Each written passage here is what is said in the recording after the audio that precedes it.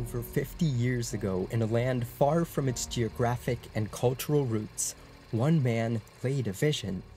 With the wave of a hand, as a gesture of blessings, he would go on to transform countless lives within North America, a land full of aspirants. Where resources were scarce and haribhakta few, sharing satsang would indeed be a challenge. But this would slowly change through Pramukh Swami Maharaj's zeal and efforts. And so, what would start in one small house in the narrow streets of New York would spread across North America, encompassing the Northeast, Canada, Southeast, Midwest, Southwest, and Western regions of North America. Pramukh Swami Maharaj emerged both as a masterful builder and a skillful orator. Through his constant spiritual guidance via discourses, telephone, and letters, Pramukh Swami Maharaj inspired devotees to fulfill his Guru Yogiji Maharaj's wish of building mandirs in the Western Hemisphere. With Swamishi's guidance, this land that had seemed so distant just half a century ago shined with a new spiritual light. Over the next six months, we'll join in celebrating the Satpurush's profound and widespread impact on each and every one of us.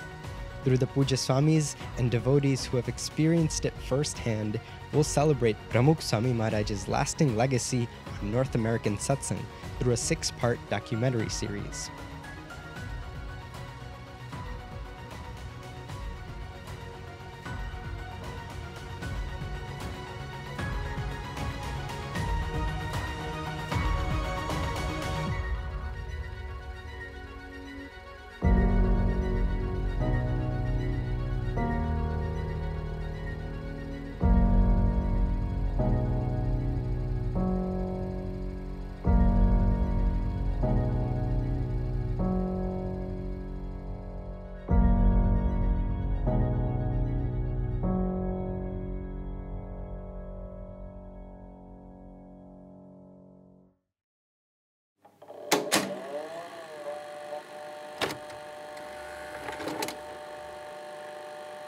My immediate left is His Holiness the Swamiji uh, of this particular sect, and we understand that he, to this branch of the religion, is the equivalent to the Pope in the Roman Catholic Church.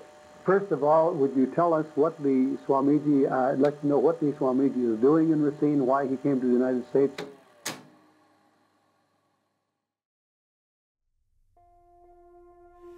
Nineteen ninety four's uh, Pocono Shibir there was a treasure hunt game that was set up for the Balaks.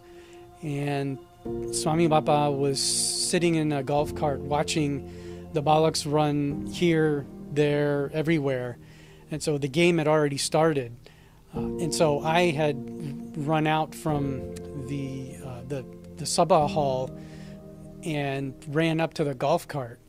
And so because I ran up there, everybody thought that I was also playing the game. And so then somebody asked Sue, Sunny Kajano Mario, Kajano Mario. And then uh, in that time, short time period, somehow Baba grabbed my left hand with his right hand. And so I'm standing there holding his hand. And, uh, and at that time, I didn't know what Kajano meant because my Gujarati was really bad at that time. So I looked at somebody and said, Kajano et leshu. Then somebody said, uh, I think Jamin Bai said, uh, Kajano et le treasure. And so then I looked at Swami Bapa and I shook his hand like this and I said, Ha, mane best treasure Mario. And so then uh, we're standing there um, just holding hands and I was trying to figure out what I should do. And then um, I got up the courage to ask him a question. And so I said, you know, Baba, તમે મારા હાથ પકડી છે કે હું તમારા તમારી હાથ પકડી છે and so then Swami Baba said જેવી રીતે શાસ્ત્રીજી મહારાજ હાથ પકડ્યો અને યોગીજી મહારાજ હાથ પકડ્યો એવી રીતે તારો હાથ પકડી રહ્યો છું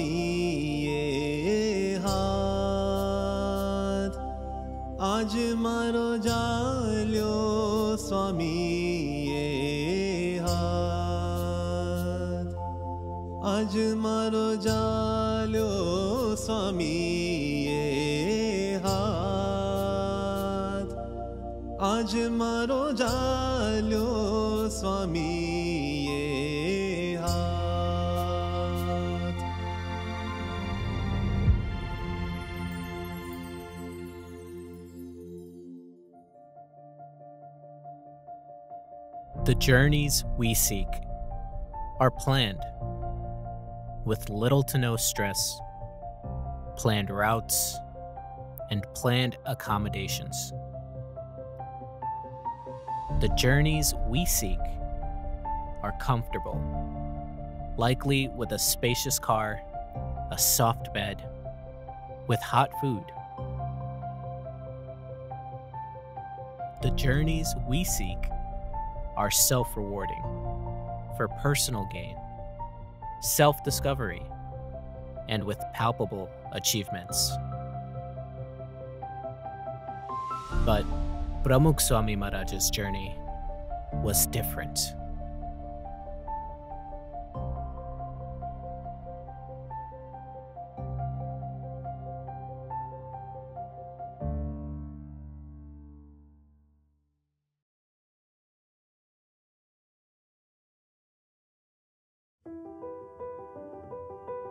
સેવનમાં જ્યારે બાપાને વિચરણમાં જવાનું હતું, તે વખતે નક્કી કર્યું કે ભાઈ આપણે ત્રણ કાર રેન્ટ કરવી. તો એ બધું કરતાં કરતાં એક કનેક્ટ ટિકટમાં મળી. પણ શરૂઆતમાં તો જલ્દી કોઈ તૈયાર થાય નહીં. કારણ કે કેસી કાકાએ પ્રોજેક્ટ મને સોંપ્યો હતો કે આ કરી લાવવાની કાર. તો તે વખતે તો આપણી પાસે ક્રેડિટ કાર્ડ બહુ ઓછી લિમિટવાળું શરૂઆતના વર્ષોમાં. તો જે જગ્યાએ હું જોબ કરતો હતો એ બોસે હેલ્પ કરી અને આપણને ત્રણ કાર મળી રેન્ટે તો જ્યારે કાર લીધી ત્યારે ઓળખાણને લીધે એણે એકદમ ઝીરો માઇલમાં નવી જ કાર ત્રણે ત્રણ આપેલી. એટલે એ સારું પડ્યું કારણ કે એને રિક્વેસ્ટ કરી હતી. અને જ્યારે રેન્ટ કાર કરેલી, તો એ ટાઈમે કાર તો નવી હતી, પરંતુ it's not a luxury car. Like a simple, no power window, no power lock, regular seat કે જે bench type seat no clock even only air condition and heating and power steering very simple car અને આવી કારમાં બાપાએ વિચરણ કરેલું. Pramukh Swami Maharaj nineteen seventy ફોરમાં USA અને કેનેડાના વિચરણ અર્થે પધારેલા હતા. તે વખતની જે પરિસ્થિતિ છે એને લક્ષ્યમાં રાખીને જો આપણે પ્રમુખ સ્વામી મહારાજના વિચરણને જોઈએ, તો ખૂબ જ ભીડા ભરેલું વિચરણ હતું.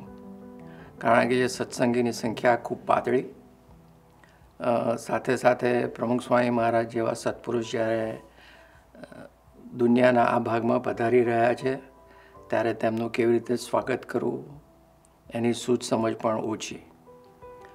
તે વખતના ભૌતિક સાધનોમાં ખાસ કરીને ટ્રાન્સપોર્ટેશનમાં કારની વ્યવસ્થા. એ પણ જો જોઈએ ને, તો અત્યારની આધુનિક કાર્સ અને તેમાં સ્મોલેસ્ટ ઓફ ધ સ્મોલ કારમાં જેટલી કમ્ફર્ટ્સ છે ને, એટલી કમ્ફર્ટ તે વખતે તેની, તે વખતની અદ્યતન કારમાં નથી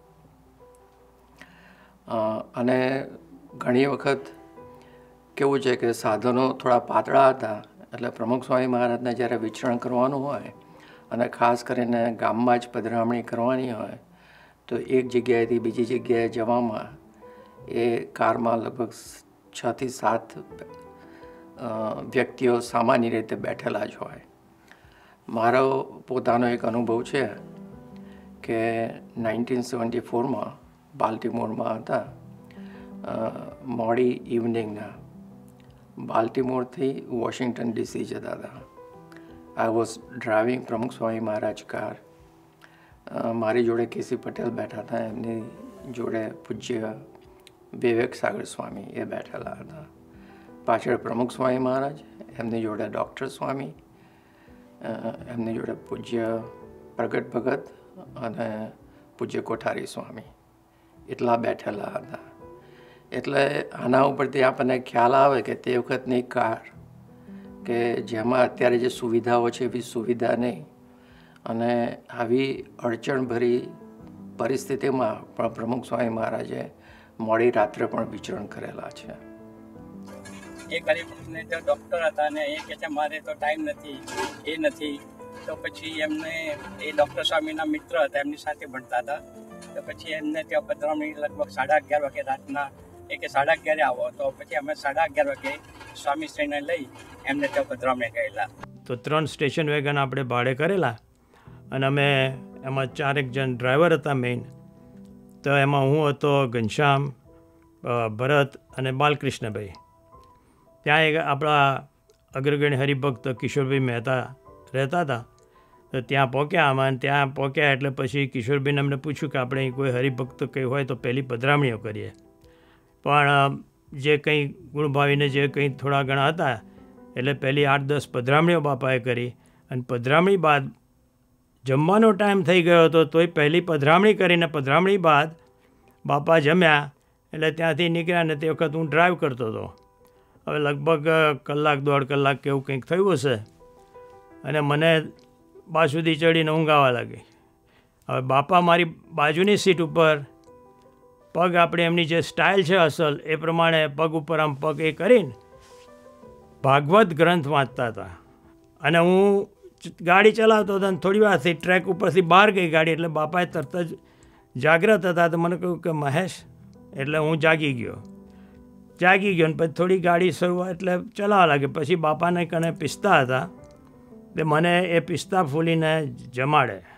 અને આ રીતના જે બાપાની જે મને સ્મૃતિ રહી છે આખી જિંદગીમાં, કે બાપા હરિભક્તો માટે કાયમ જાગ્રત જ રહ્યા છે અને આપણે જોયું છે કે એ આખી એમની લાઈફમાં બધા માટે જાગ્રત રહ્યા છે. એ કયા ટાઈમે આરામ કરતા હશે that is the very important કે કંઈ કયા ટાઈમે આરામ કરતા હશે એ મોટો પ્રશ્ન થાય છે મને. શરૂઆતના વર્ષોમાં પ્રમુખ સ્વામી મહારાજે ખૂબ ભીડો વેઠેલો. અહીં અમેરિકામાં જ્યારે જ્યારે આપણે આવતા બાપા ત્યારે એ પધરામણી કરતા, ઘરે ઘરે પધરામણી કરતા. અને રાત્રે ડ્રાઇવિંગ હોય, એક શહેરથી બીજા શહેર જવાનું. અને સાંજના સભા હોય, જાહેર સભા. અને પછી એક વખત મેં બાપાને પૂછ્યું કે, બાપા, આ ભીડો શા માટે આપણે આટલો વેચીએ છીએ? કારણ કે આપણે તો જાતે બધાને શોધવા પડે. સામેથી આગ્રહ કરવો પડે કે પધરામણી કરાવો પધરામણી કરાવો. તો આ બધું શા માટે? તો બાપાએ પછી કહ્યું કે આજે આપણે પધરામણી કરીએ છીએ એ બરાબર છે અને ભીડો ના કહેવાય, પણ કે આ જે સત્સંગ ગ્રો થશે એ તું જોઈશ. અને હકીકતમાં અત્યારે આપણે જોઈએ છીએ કે કેટલો સત્સંગ વધી ગયો. અને સત્સંગ વધ્યો એની સાથે સાથે કેટલા બધા સેન્ટર વધ્યા.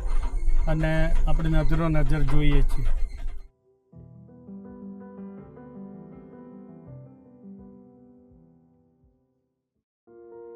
The most striking facet of Pramukh Swami Maharaj's journey is the genuine care he had for each person that he met.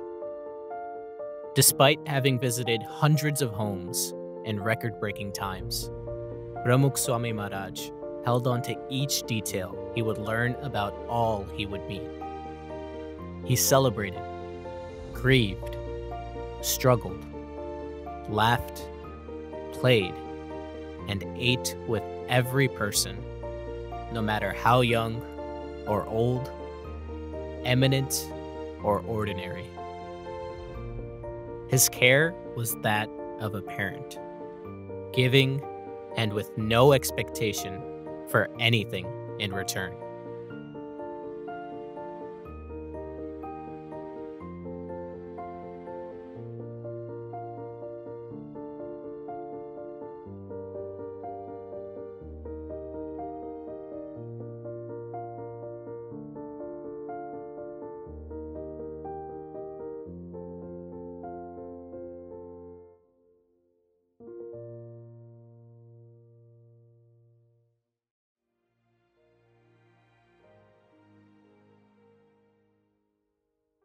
Cultural festival of India ભવ્યતા અને દિવ્યતાથી ઉજવીને પરમ પૂજ્ય પ્રમુખ સ્વામી મહારાજે માત્ર બીએપીએસનું જ નહીં, પરંતુ સમગ્ર ભારતનું ગૌરવ વધાર્યું છે.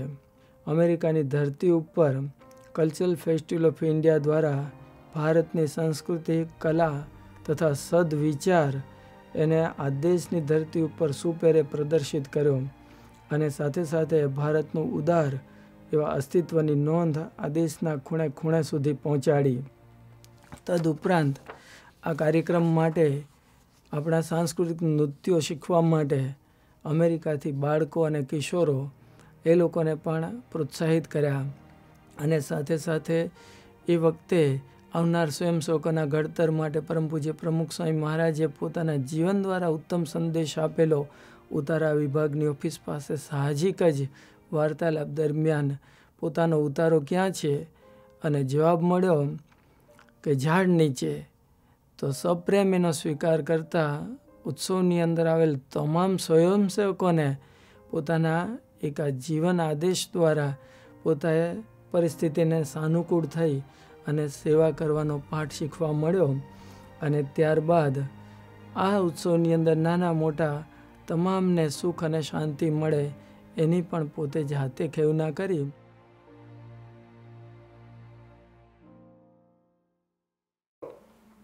અમારા પત્નીને બે હજાર એકની સાલમાં પેટના નીચેના ભાગમાં ખૂબ જ દુખાવો રહેતો હતો. એ દુખાવો વધી જતાં આપણે પછી ડૉક્ટરને વાત કરી. એટલે ડૉક્ટરે કહ્યું કે એમઆરઆઈ કરવો પડશે. એટલે પછી આપણે એમઆરઆઈ કરાયો અને એમઆરઆઈનું રિઝલ્ટ આવ્યું એટલે ડૉક્ટરે મને બોલાવ્યો કે રિઝલ્ટમાં લુકેમિયા અને કેન્સર છે. એટલે તાત્કાલિક તારી વાઈફને હોસ્પિટલમાં દાખલ કરવી પડશે. એટલે હું પછી અહીં આપણા પુલકિતભાઈ, જે ડૉક્ટર, એમની સહાયથી જેએફ કે હોસ્પિટલમાં અમારા પત્નીને દાખલ એડમિટ કર્યા અને પછી બીજા દિવસથી test, CT scan, MRI, x ray, CAT scan બધું કરવામાં આવ્યું. અને પછી ન્યુરોલોજીસ્ટ જે હતો એણે કહ્યું કે આ લ્યુકેમિયા અને કેન્સર જ છે, એટલે એની સર્જરી આપણે કરવી પડશે. એટલે આ સર્જરીમાં ચાર પાંચ ડૉક્ટરો ઇન્વોલ્વ થવાના હતા. આ દરમિયાનમાં બાપાને આશીર્વાદ માટે પત્ર લખ્યો. ત્યાં તો એક અહીંથી પૂજ્ય યજ્ઞવલ્લભ સ્વામી ગઢડા બાપાની સાથે જ હતા. એટલે આપણે આશીર્વાદ માટે પત્ર એમને ફેક્સ કર્યો. ગઢડામાં સ્વામિનારાયણ મહામંત્રનો ઉત્સવ ઉજવાતો હતો. ત્યારે એડિસનથી સંદીપભાઈ કાવીઠાવાળા છે. એમનો પત્ર બાપા ઉપર આવ્યો હતો. એટલે પૂજ્ય ધર્મચંદ સ્વામી મને એ બતાવેલો, એટલે એમને બહુ ગંભીર બીમારી એમના પત્નીને હતી એ બાબતમાં હતો. અને તે વખતે પછી પૂજ્ય ધર્મચંદ સ્વામી એનો જવાબ પણ લખ્યો હતો ને બાપાએ નીચે આશીર્વાદ લખવાના હતા.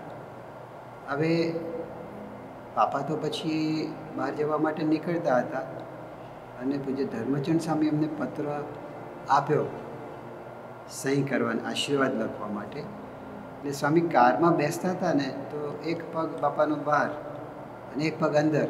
સ્વામી કે, લાવું સહી કરી આપું. અને બાપાએ તે વખતે સહી કરી અને પત્ર કહ્યું કે તરત હવે એને ફેક્સ કરી દો.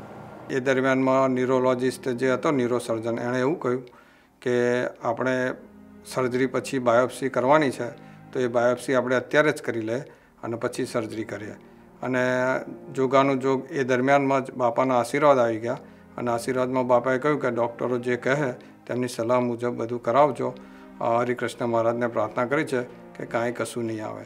અને પછી બીજા દિવસે જે બાયોપ્સી કરી એનું ત્રણ કલાકમાં રિઝલ્ટ આવ્યું. અને પછી ન્યુરોલોજિસ્ટે આવીને કહ્યું કે I never seen this kind of case in my twenty five years of practice that must be angel around your wife હવે આ પ્રસંગ ઉપરથી આપણને ખબર પડે કે સ્વામિનારાયણ મહામંત્રના સમયમાં જ્યાં લાખો હરિભક્તો ભેગા થયા હોય, તેવા વ્યસ્ત કાર્યક્રમમાં બાપા તેમનો સમય ફાળવીને અમારા કુટુંબની રક્ષા અને કાળજી માટે હરિકૃષ્ણ મહારાજને પ્રાર્થના કરી રહ્યા હતા. આ પ્રસંગ અમારું કુટુંબ ક્યારેય નહીં ભૂલી શકે. નાઇન્ટી એટી એટના વિચરણ દરમિયાન સ્વામીશ્રીનું જર્સી સિટીમાં દોઢ દિવસ માટે રોકાણ હતું સપ્ટેમ્બરની ચોવીસ અને સપ્ટેમ્બરની પચીસ. એ સમયે સ્વામીશ્રીનો ઉતારો અને સંતોનો ઉતારો મારા ઘરે હતો. તે વખતે પૂજ્ય ભગવતચરણ સ્વામી સ્વામીશ્રી એક રૂમમાં વિરાજમાન હતા. ત્યાં મને ઓળખાણ આપવા લઈ ગયા અને ભગતચરણ સ્વામી મારી ઓળખાણ આપી કે, બાપા, આ આણંદના બિહારીભાઈ બ્રહ્મભટ્ટ એમનો જમય છે. સ્વામીશ્રીએ મને જોઈને હસતા બોલ્યા કે બિહારીભાઈ બ્રહ્મભટ્ટનો જમય તો હમણાં થયો છે. પણ અમારે તો આને ચાર પેઢીથી સંબંધ છે. એવું કહી અને બાપા મારી પાંચ જનરેશન બોલી ગયા. એટલે મને થયું કે પાંચ જનરેશન બોલે છે. પણ બાપા એમ કહે છે કે ચાર પેઢીથી સંબંધ. એટલે પણ એની સ્પષ્ટતા પછી બાપાએ જ આપી. શાસ્ત્રીજી મહારાજના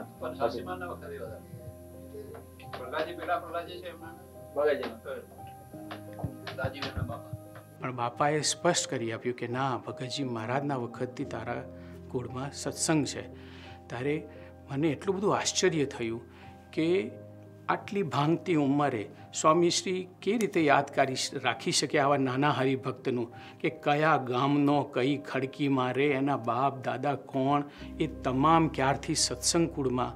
એ તમામ, મને તો આ વિચારીને એમ જ એટલું મોટું આશ્ચર્ય થાય છે. કે આટલી ઉંમરે બાપા આ કઈ રીતે યાદ રાખી શકે In 2004, my grandfather, my father, and I had gone for Swami Shri's darshan in Anand. Before we entered Swami's room, we arranged ourselves in that order my grandfather, my father, and I. As we walked in, we can really see the excitement on Swami's face. As we approached, Puja Vivek Sagar Swami also came in to give some introductions. But before he can give any names or introductions, Swami asked my dad, Ataro? My dad said, Ha. At that point, Swami shifted his, his entire focus onto me. Swami took my hands into his hands, asked my name. Thereafter, Swami told me something I had never heard before. Swami said, Kevin Raju. Raju Hari Krishna. Hari Krishna Ambalal Bhai. Ambalal Bhai Popad Bhai. Popad Bhai Murji Bhai. In doing so, Swami had mentioned six generations of our family lineage. Some of these names I was hearing for the first time in my life. Immediately after that, Swami looks at me and asks, Amatu Susamjo. Me being a 14 year old kid kind of just nodded my head. But Swami proceeded to reply himself. He said, Ki awo satsang cho pedyo thi rayo che. Ave tari jawabdari. It's your responsibility.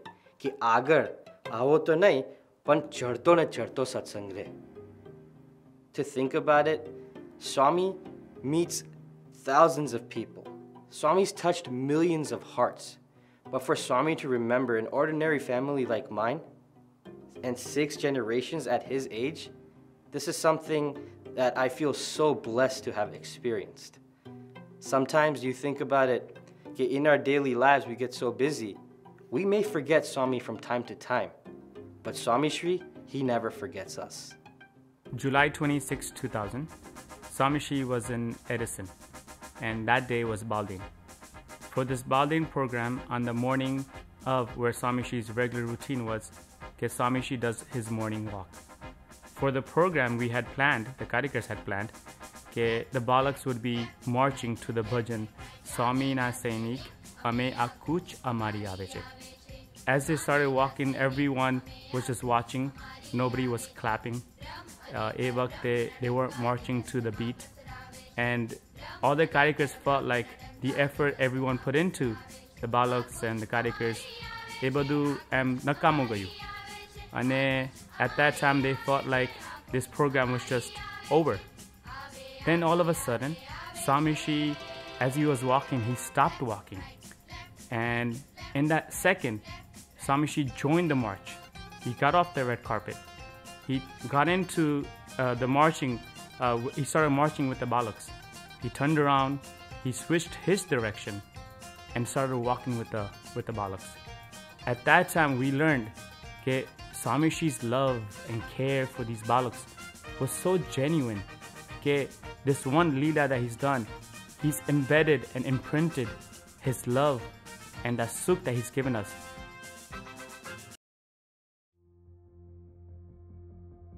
In 2000, uh, Pramukh Swami Maharaj had come to Washington, D.C. for three days uh, for the Murti Pratishta.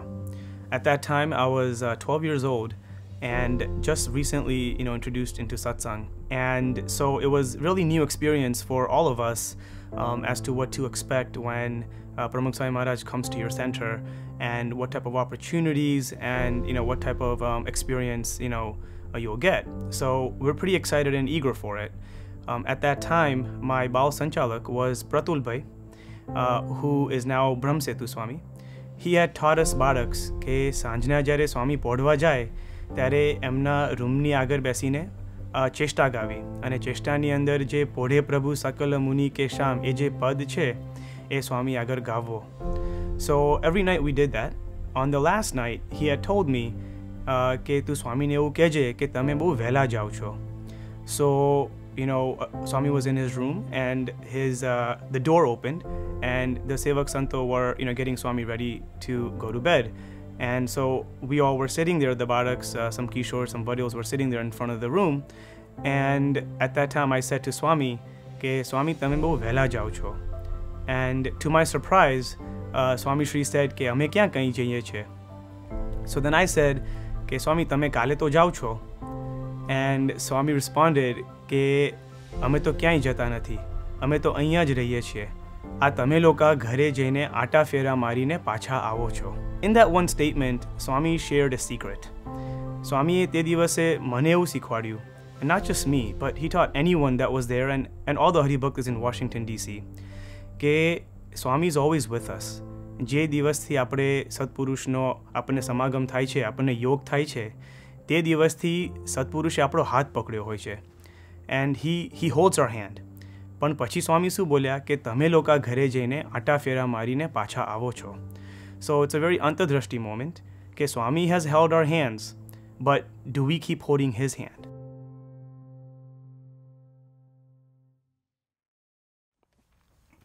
ઘણા પૂછે છે કે પ્રમુખ સ્વામી મહારાજમાં એવું તો શું છે કે નવયુવાનોને આકર્ષી જાય છે અને આધ્યાત્મિક માર્ગે વાળે છે. ઘણા પૂછે છે કે અબાલ વૃદ્ધોને કેમ પ્રમુખ સ્વામી મહારાજ પોતાના પ્રાણથી પણ પ્યારા છે. ઘણા પૂછે છે કે કેમ નાના નાના ભૂલકાઓ દોડી દોડીને પ્રમુખ સ્વામી મહારાજનો ખોળો ખૂંદવા માટે તૈયાર થાય છે. તેનો એક જ જવાબ છે પ્રમુખ સ્વામી મહારાજનો નિસ્વાર્થ પ્રેમ. પ્રમુખ સ્વામી મહારાજનો પ્રેમ ફૂલ કરતાં પણ વધારે કોમળ હતો. એવો અનુભવ મને નાઇન્ટીન નાઇન્ટી સેવન સ્વામીશ્રીની મિડલ ઇસ્ટની ટૂર દરમિયાન થયો.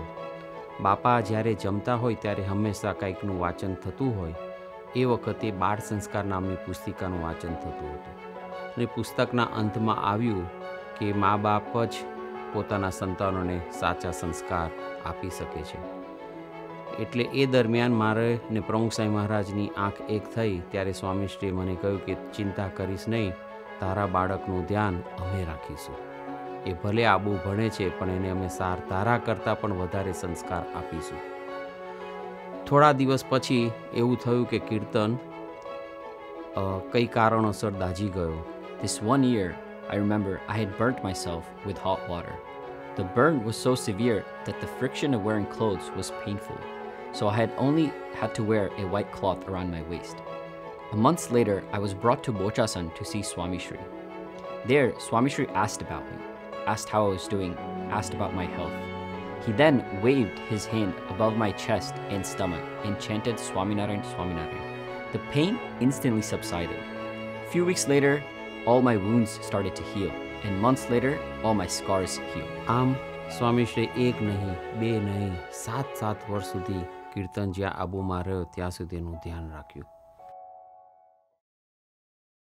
શિકાગો મંદિર જે શિખરબેર મંદિરની પ્રથમ શ્રેણીમાં એમાં હવેલીનું જે મુખ્ય સોપાન હતું, એની શિલાન્યાસ વિધિ પ્રમુખ સ્વામી મહારાજે ન્યુયોર્ક ખાતે કરેલ. અને ત્યાર પછી એનું બાંધકામ આગળ કેવી રીતે કરવું એનું મેનેજમેન્ટની ચર્ચા બધી ચાલતી હતી. એના ભાગરૂપે મને આપણા જે હરિભક્ત ઘનશ્યામભાઈ, જેને આપણે જીએમ તરીકે ઓળખીએ છીએ, અને પૂજ્ય યજ્ઞો સ્વામી, તેઓએ મારી જોડે એડિસન મંદિરમાં મિટિંગ કરી. એમાં મારી જોડે બધા મારો જે કન્સ્ટ્રક્શનનો અને એન્જિનિયરિંગનો અનુભવ, એના વિશે બધી પૂછ્યા કરી, મારા પગાર વિશે પૂછ્યા કરી અને પછી મને એમ કહેવામાં આવ્યું કે શિકાગો જે આપણે હવેલી કરવાની છે, એના બાંધકામના મુખ્ય ભાગરૂપે તમને શિકાગો અમને મૂકવાની ઈચ્છા છે. અને કાલે પછી કે કાલે કે પરમ દિવસે પ્રમુખ સ્વામી મહારાજ જોડે આપણે મિટિંગ કરીને એની વધારે ચર્ચા કરીને આપણે ફાઇનલ કરીશું. હવે આટલી વાત થઈ, હવે એ વખતે તો પછી તો મારા મનમાં મૂંઝવણો ચાલુ થઈ ગઈ. કારણ કે ઓગણીસો અઠ્યાસી ઓગણીસો અઠ્ઠાણું સુધી અહીંયા હું એપાર્ટમેન્ટમાં રહેલો અને હવે ન્યૂઝ વોશિંગ્ટન ડીસીમાં જે મંદિર થવાનું હતું, એટલે ઘરના બધા સભ્યોએ નક્કી કરેલું કે આપણે આપણે હવે મકાન લેવું. એક એ હતું. બીજું કે માંડ માંડ ઓગણીસો પંચાણુંમાં ગ્રીન કાર્ડ મળેલું અને ઓગણીસો અઠ્ઠાણુંમાં પૂજ્ય સ્વામીશ્રીના આશીર્વાદથી જોબ એ ચાલતી હતી અને શિકાગોનું ઠંડીનું વાતાવરણ પહેલાંથી પણ આપણે સાંભળેલું હતું. એટલે આપણને મૂંઝવણ હતી કે શિકાગો કન્સ્ટ્રક્શનનું જે બાંધકામ થવાનું અને એમાં સાઇટમાં ને બહાર ઠંડીમાં વધારે ઊભું રહેવાનું થાય, તો એ શિકાગોનું વાતાવરણમાં શું થશે? બીજું, ડિટેલમાં શાંતિથી કુટુંબ જોડે કોઈ ચર્ચા પણ થઈ નથી. અને પ્રમુખ સ્વામી મહારાજ જોડે મળવાનું થયું. આ બધી મૂંઝવણો ચાલતી હતી અને પ્રમુખ સ્વામી મહારાજ જોડે મુલાકાત થઈ. પ્રમુખ સ્વામી મહારાજે બધું શાંતિથી જે ઘનશ્યામભાઈ એટલે કે જીએમ અને પૂજ્ય યજ્ઞ સ્વામીએ જે બધી વાત કરી, એ બધી સ્વામી સ્વામીશ્રીએ શાંતિથી સાંભળી. એમાં ખાસ તો આ બંને જે જીએમ અને પૂજ્ય યજ્ઞ સ્વામી બંનેનો વધારે પ્રયાસ એ હતો કે મારા અનુભવની વાત કરી અને મને ત્યાં મોકલવાની ઈચ્છા એમને રજૂઆત સ્વામીશ્રી આગળ કરેલ. હવે સ્વામીશ્રી તો બધું બધું સાંભળી રહ્યા. પછી એકદમ સ્વામીશ્રી મારી મૂંઝવણનો જાણે નિકાલ કરતા હોય ને, એમ સ્વામીશ્રી બધા પ્રશ્નો પૂછવા માંડ્યા. સ્વામીશ્રી કે, તમે એને શાંતિથી પૂછ્યું? એનો શું વિચાર છે? તમે એના કુટુંબનો શું વિચાર છે? એના કુટુંબ જોડે એને ચર્ચા કરી? એને એને બીજા કયા પ્રશ્નો છે? એને માંડ માંડ હમણાં ગ્રીન કાર્ડ મળ્યું છે, હમણાં માંડ માંડ એ સેટ થયો છે? અને અત્યારે પાછા એના સ્કૂલ છોકરા બધા નાના છે અને સ્કૂલમાં અત્યારે સેટ થઈ ગયા હોય, પછી સ્કૂલ બદલવાની થાય. હવે આ બધું હરિભક્તને કેટલી મુશ્કેલી પડે. એટલે સ્વામીશ્રીએ કહ્યું કે આ બધું જોતાં એવું લાગે છે કે અમને એને આપણે મોકલવો નથી, આપણે કોઈ બીજા કાર્યકરની વ્યવસ્થા કરીએ. હવે આમ જોઈએ તો સ્વામીશ્રીનો આ પોતાનો સંકલ્પ હતો. નોર્થ અમેરિકા જે અમેરિકાનું સક્ષમ મંડળ કહીએ, એનું આ પહેલું શિખરબદ્ધ મંદિરનું સોપાન હતું. અને સ્વામીશ્રીએ પોતાનો જે સંકલ્પ અથવા બીએપીએસનું જે સંસ્થાનું જે આટલું મોટું ભવ્ય હવેલીને મંદિર થવાનું, એના ભાગ એની પણ કાળજી કે એનું પણ પક્ષ રાખ્યા વિના હરિભક્તની લાગણી અને હરિભક્તની જે કાળજી આપણે કહીએ ને, એ સ્વામીશ્રીએ પ્રાધાન્ય આપ્યું.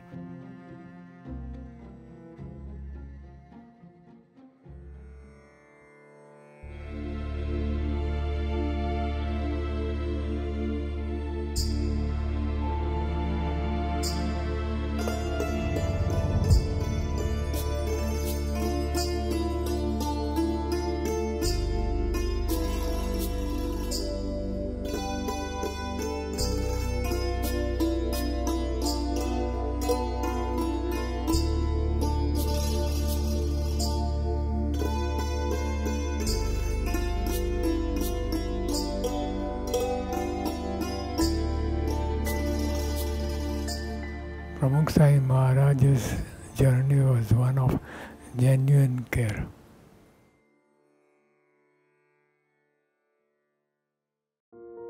Through the many stories told along the journey, we can only begin to comprehend just how deeply and genuinely Pramukh Swami Maharaj cared for all.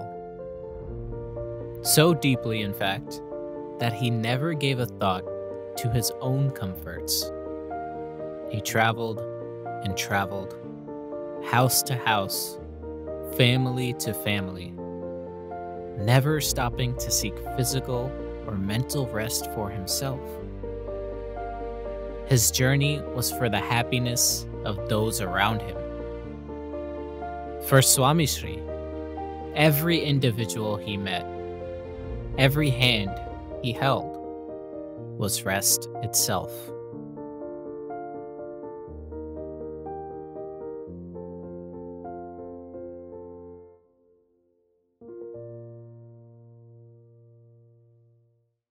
ચૌદ જુલાઈ ઓગણીસો ને ચુંવોતેરમાં પરમ પૂજ્ય પ્રમુખ સ્વામી મહારાજ અમેરિકામાં હોબોકિનમાં વિચરણ કરી રહ્યા હતા. એ દિવસે પધરાવણી કરતાં કરતાં રાત્રે સવા બે વાગ્યા. સવા બે વાગ્યા આરામમાં ગયા. બીજે દિવસે સવારે એંશી માઇલનું અંતર કાપીને ફિલાડેલ્ફિયામાં સુરેન્દ્રભાઈને ઘેર પધરામણી કરી અને ઠાકોરજી જમાડ્યા. અને થોડો આરામ કર્યો, ન કર્યો, અને સાંજે પાછા ચાર ને પિસ્તાલીસ વાગે પધરામણીમાં નીકળ્યા. નવ પધરામણી કરી અને ચંદુભાઈને ઘેર સાંજે સાત વાગે ઠાકોરજી પહોંચાડવાના જમાડવાના હતા. પણ રાતના અગિયાર વાગી ગયા. ચંદુભાઈને ઘરે પરવારતા લગભગ રાત્રે બહુ મોડું થઈ ગયું હતું. પોણા બાર વાગી ગયા હતા. એટલે બધાની ઈચ્છા એવી હતી કે હવે પછીનું પધરામણી એ કાલે સવારના કરીશું.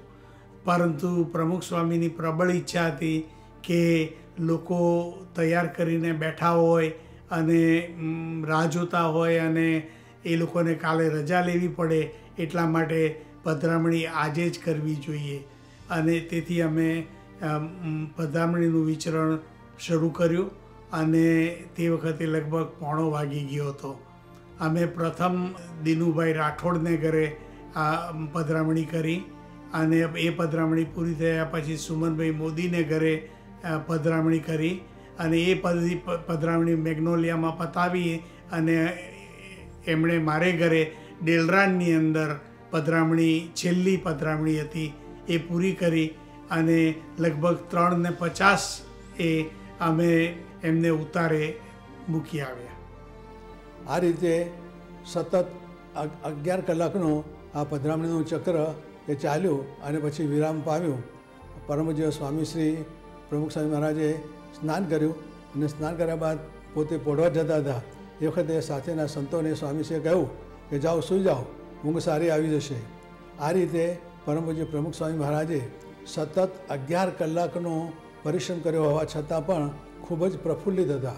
અને પરમપૂજ્ય પ્રમુખ સ્વામી મહારાજે જે જે અત્યાર સુધી જે પધરાણીઓ કરી છે, એ બધા પધરાણીઓમાં રેકોર્ડ એનો સપાયો કે રાતના પોણા પાંચ, ત્રણ પચાસ સુધી સ્વામીશ્રી પધરામણી કરેલી. તો આ રીતે પરમપૂજ્ય પ્રમુખ સ્વામી મહારાજે હરિભક્તોને રાજી કરવા માટે આવું ખૂબ તાન કર્યું.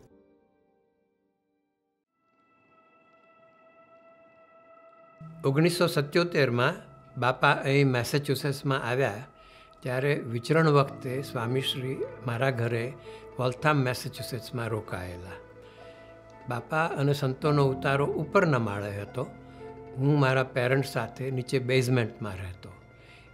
એ દિવસે બાપાએ બસો પચાસ માઇલ જેટલું વિચરણ કરેલું અને એ જ દિવસે સાંજે એમઆઈટીના હોલમાં ત્રણ કલાક ચાલેલી જાહેર સભામાં આશીર્વાદ આપી બાપા રાત્રે પોણા બાર વાગે અમારા ઘરે ઉતારે પધાર્યા અને બહુ મોડું થઈ ગયું હતું એટલે ડિનર ન કરતાં ફક્ત ઉકાળા પાણી જ પીધા. સાથેના સંતોની આંખો તો ભૂખ અને થાકને લીધે ક્યારની એ ઘેરાતી હતી? સ્વામી બાપા આરામમાં જવાની તૈયારીમાં જ હતા અને ખોળામાં લીધેલું બ્લેન્કેટ ઓઢીને સૂવે એટલી જ વાર હતી. પણ ત્યાં એક હરિભક્ત આવી ચડ્યા. મધરાત્રે બાર વાગે એ હરિભક્ત સ્વામીશ્રીને પોતાને ઘેર પધરાવણીએ આવવા વિનંતી કરી. એટલે સાથેના સંતો કહે કે આજે સ્વામીશ્રી ખૂબ જ થાક્યા છે. વળી મોડું પણ ઘણું થયું છે. માટે કાલે તમારે ત્યાં પધરામણીએ આવીએ. પેલા ડૉક્ટર હરિભક્ત કહે કે કાલે મારે એક ઓપરેશનની અપોઇન્ટમેન્ટ છે, તેથી ફાવે તેમ નથી.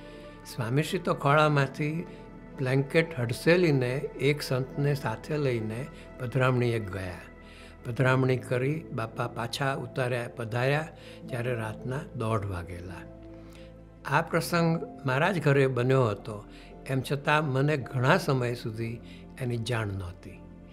જ્યારે જ્યારે આ પ્રસંગનું સ્મરણ કરું છું ત્યારે વિચાર આવે છે કે સ્વામીશ્રી કેટલા છુપા રહ્યા છે.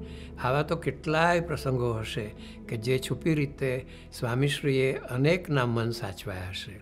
પોતાની અનુકૂળતા જોયા વગર સામેવાળાના દિલ સાચવ્યા હશે. અનેકને રાજી કર્યા હશે. અનેકના હાથ ચાલ્યા હશે.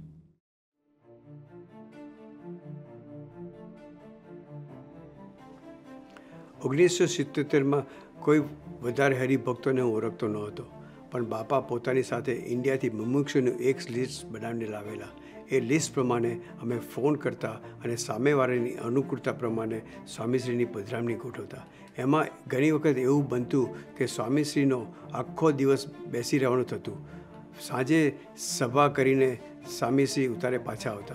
એમાં એક દિવસ એવું બન્યું કે પ્રમુખ સ્વામી મહારાજ અને મહંત સ્વામી મહારાજ સાથે વોલધામથી ન્યૂ હેમ્પશેર તરફ પધરામણીએ ગયેલો. એક જ પધરામણી હતી અને ડિસ્ટન્સ લગભગ ચાલીસ માઇલનું હતું. એટલે મને વિચાર આવ્યો કે એક હરિભક્ત માટે સ્વામીશ્રી કેટલો બધો દાખલો કરતા હશે. સ્વામીશ્રીએ ત્યાં જઈને પધરામણીની બધી વિધિ પૂરી કરી. નીકળતી વખતે પહેલાં હરિભક્તે એક ડોલરની ભેટ મૂકી. આ જોઈને મારા મનમાં જે વિચાર ચાલતા હતા એને વેગ મળ્યો. અને પાછા વળતા મેં બાપાને પૂછ્યું, બાપા, આ એક ડોલર માટે આટલો બધો ભીડો શા માટે બેઠો છો? આ સાંભળીને સ્વામીશ્રી થોડું હસ્યા અને પછી જવાબ આપ્યો, મહેન્દ્ર, આપને એક ડોલર માટે પધરામણી નથી કરતા, પણ હરિભક્ત સુખી થાય, એના પરિવારમાં સત્સંગ થાય અને આ લોક અને પરલોક બંને રીતે એનું સારું થાય એટલા માટે પધરામણી કરીએ છીએ. સ્વામીશ્રીના આ શબ્દોનો તે વખતે મને કોઈ ખ્યાલ આવ્યો નહીં, પણ અત્યારે જ્યારે એનું સ્મરણ કરું છું, ત્યારે સ્વામીશ્રીની જીવન ભાવના સમજાય છે. આવી રીતે સ્વામીશ્રીએ કેટલી પધરામણીઓ પર કાજે કરી છે.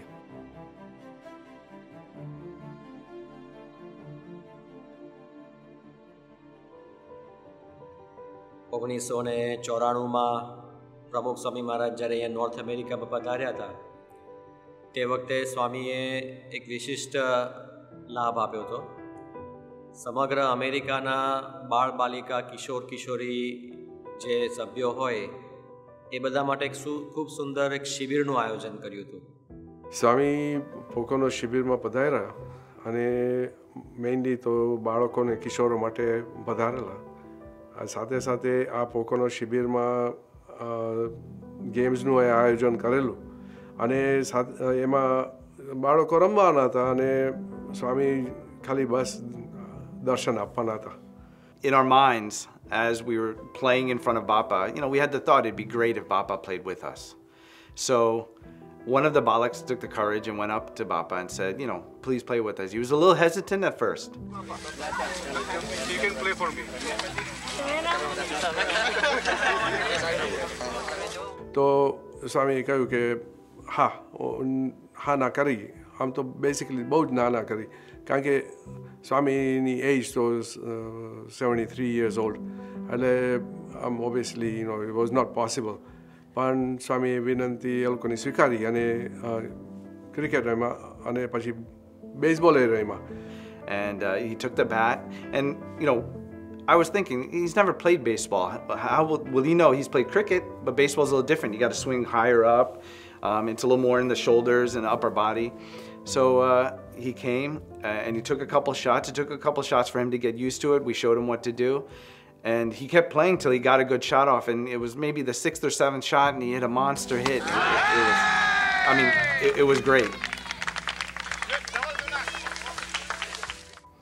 આ શિબિર દરમિયાન સ્વામી બાપા અમને ખૂબ આનંદ કરાયો અમારી સાથે રમ્યા જમ્યા અને એટલી બધી સ્મૃતિઓ આપી કે જે જીવનભર નહીં ભૂલી શકાય That Pocono Shibir was special. Um, it was like a father telling his sons and daughters, let's take a few days and, and have a vacation together. We ate together, we played together, we spent uh, morning till night. And um, our love for Swami really grew uh, within that time period. After the Shibir, Swamishi continued with his Vichran. To connect with us, Swamishi had played all these various sports. As a result, he felt intense pain in his shoulder. Not once did he reveal or show any signs of pain. Samishi was actually diagnosed with a frozen shoulder. In fact, treatment and therapy for his frozen shoulder lasted for months thereafter. We were devastated when we heard that Bappa had a frozen shoulder. Um, we felt guilty for, for a long time. We were together in Edison Mandir at that time, and uh, we felt the need to do Mara Dandvat Pradakshina for Bappa's health. But physically તો અમે કરી શકીએ એવું કશું હતું નહીં. એટલે બધા કિશોરો ભેગા થઈને નક્કી કર્યું કે આપણે સ્વામીને એક પત્ર લખીએ. પછી એવું થયું કે એના કરતાં આપણે ગેટ વેલ સૂરનું એક કાર્ડ બનાવીએ. અને મોટી સાઇઝનું એક કાર્ડ બનાવ્યું.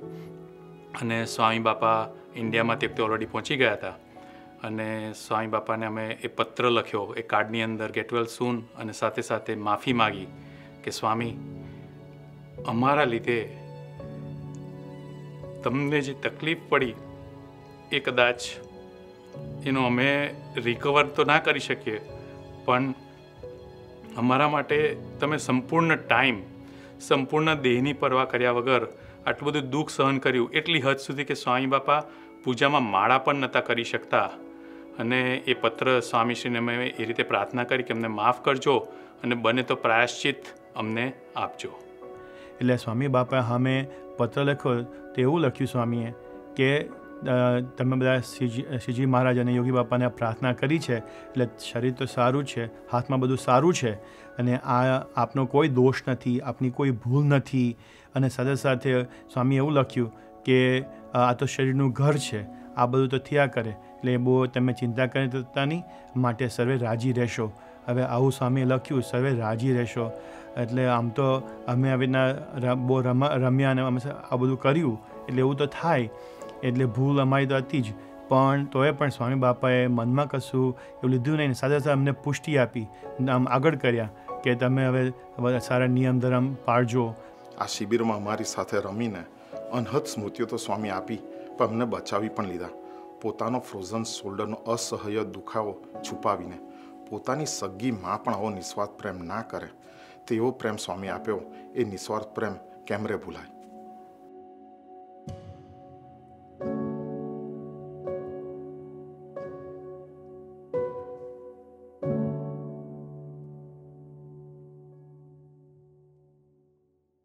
ઓગણત્રીસમી ઓગસ્ટ ઓગણીસો એંશીના રોજ સ્વામી શ્રી બાલ્ટીમોરમાં હતા અને ત્યાં અલ્પાહાર કરી અને ત્યાર પછી ઉતારે જવા તૈયાર થયા.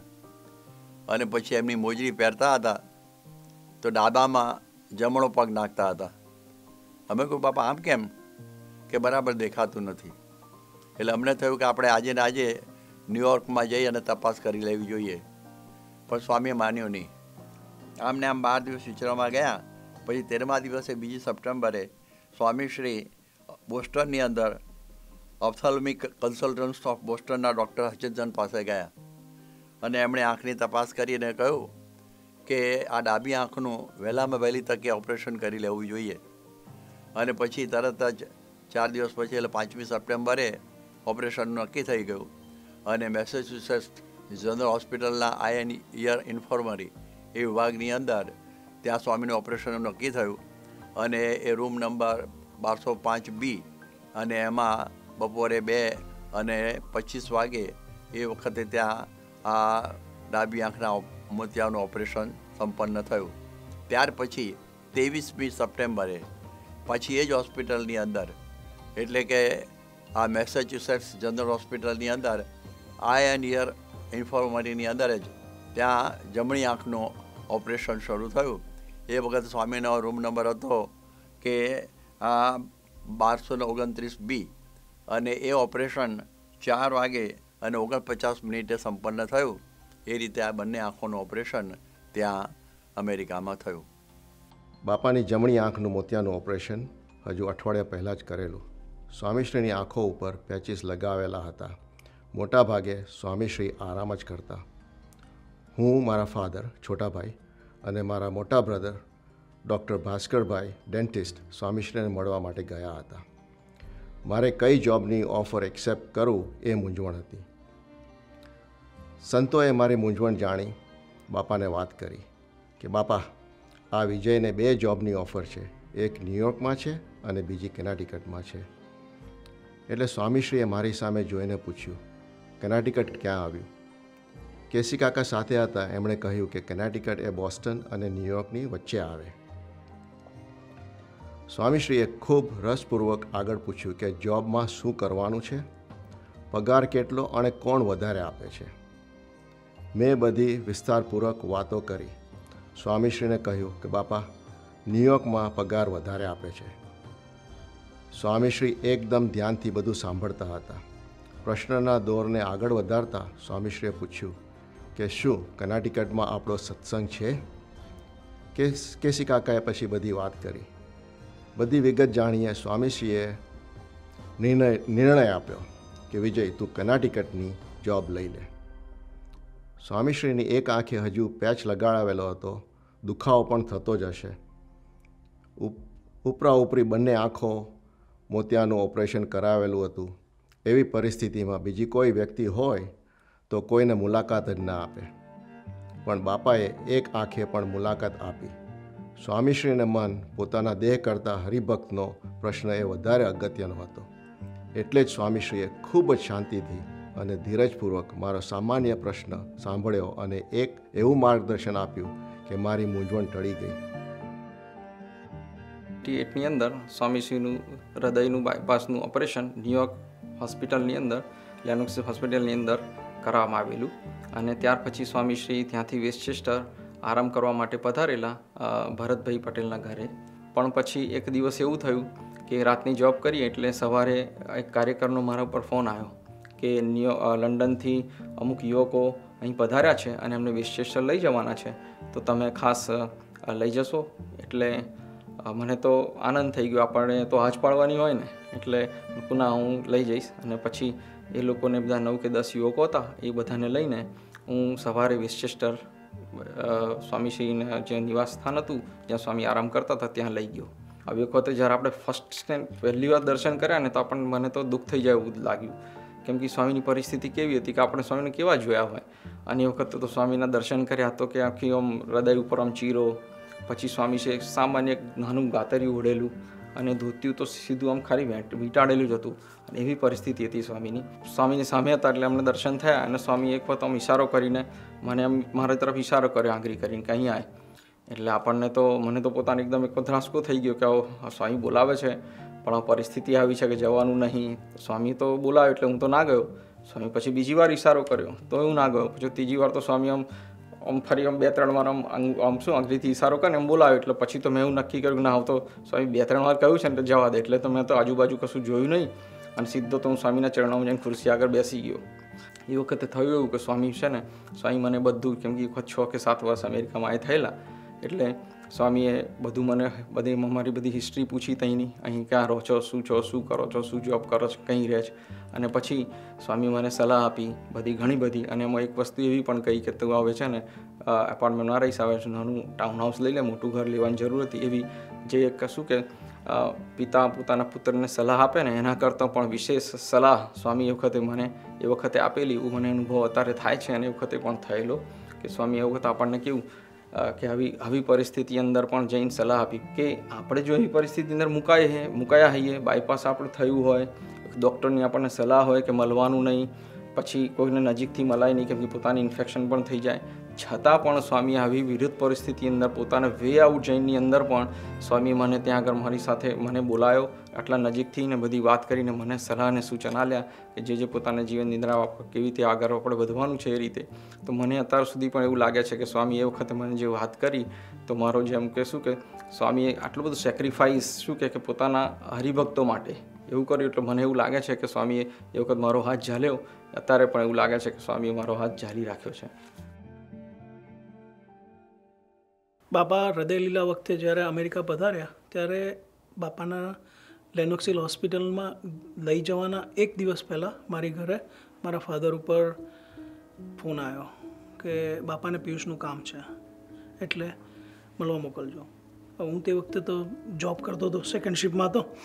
ઘરે આવ્યો એટલે મારા ફાધરે કહ્યું કે તારો ફોન આવ્યો હતો મંદિરેથી. હવે મને આગલે દિવસ એટલી ખબર પડેલી કે બાપાને બધું ચેકઅપ ને બધું થવાનું છે એટલે હું એકદમ દ્વિગામાં હતો કે હવે કોન્ટેક કરવો તો કોને કરવો અને બાપાએ અત્યારે કેમ બોલાવ્યો છે? આ વાતને બે દિવસ થઈ ગયા. ત્યાં સુધી તો બાપાનું બાયપાસ પણ પતી ગયેલું ને ચોથે દિવસે પછી મને જવાનો, ત્યાં આગળ મેં કોન્ટેક કર્યો રૂડા સ્વામીને અને પછી એમના થ્રુ હું ત્યાં આગળ પહોંચ્યો બાયપાસ સર્જરી થઈ ગયેલી છે અને મારાથી અંદર જવાય કે ના જવાય, મારી સાથે રૂડાસ્વામી હતા અને એમણે મને કહ્યું કે જા, એટલે પછી હું અંદર ગયો, બાપાને પંચાંગ પ્રણામ કર્યા અને પછી બાપાએ જ મને કહ્યું કે તારે તારા સગપણ માટે, આપણે એક છોકરીને જોવા માટે સાનહોઝેના જે પૂજારી છે, તારે સાનહોઝે જવાનું છે. એટલે મેં કહ્યું જેવી બાપા આપની આજ્ઞા.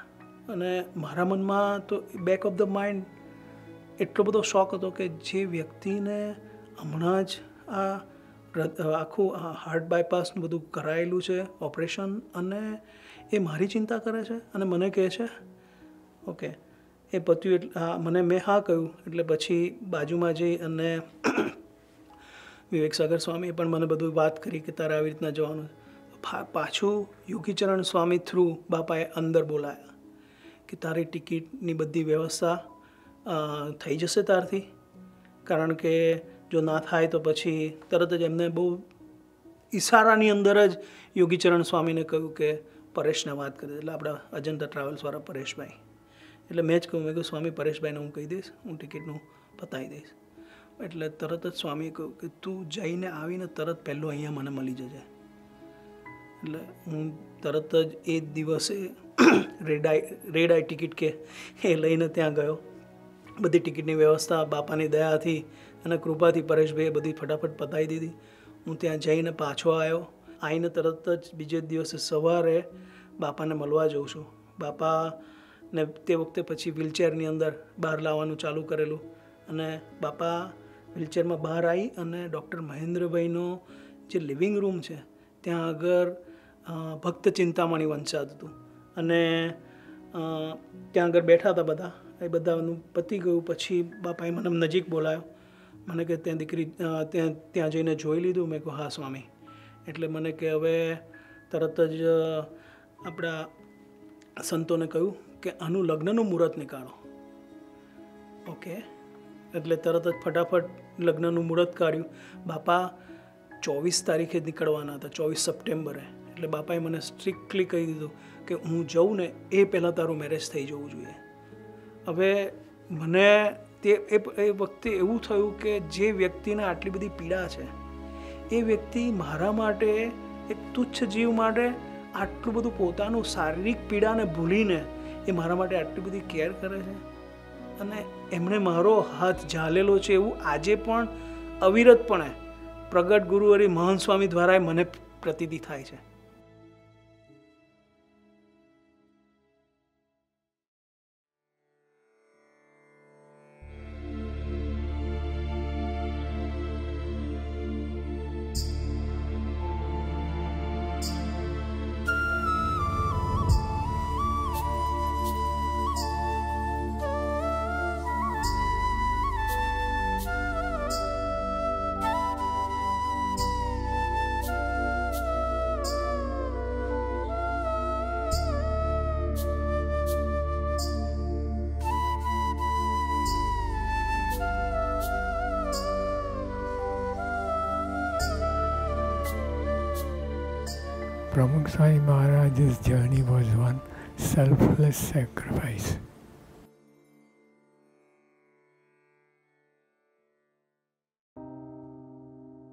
Pramukh Swami Maharaj's sole purpose for his journey across the Northeast was to better the lives of all those he came across. Whether it be by teaching values, leading by example, or by simply showing people they were loved and worthy of love. Pramukh Swami Maharaj uplifted entire communities throughout his journey. By establishing mandirs, he created spaces of culture and support that have allowed generation after generation to find peace, guidance, friendship, and an everlasting connection to their Guru.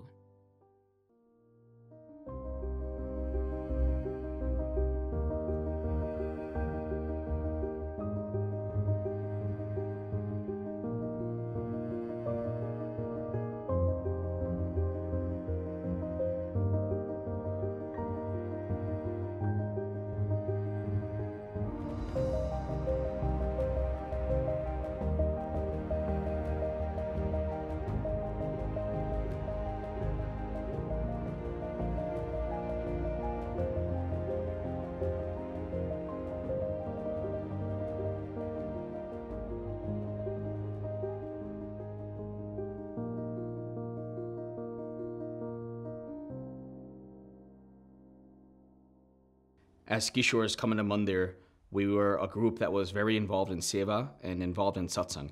We had a ton of samp. We did everything together, whether it was in Mandir or outside of Mandir. We used to attend Sabha briefly, and then we used to walk to the local convenience store to hang out and time pass the, that way. We attended Arthi occasionally if we felt like going.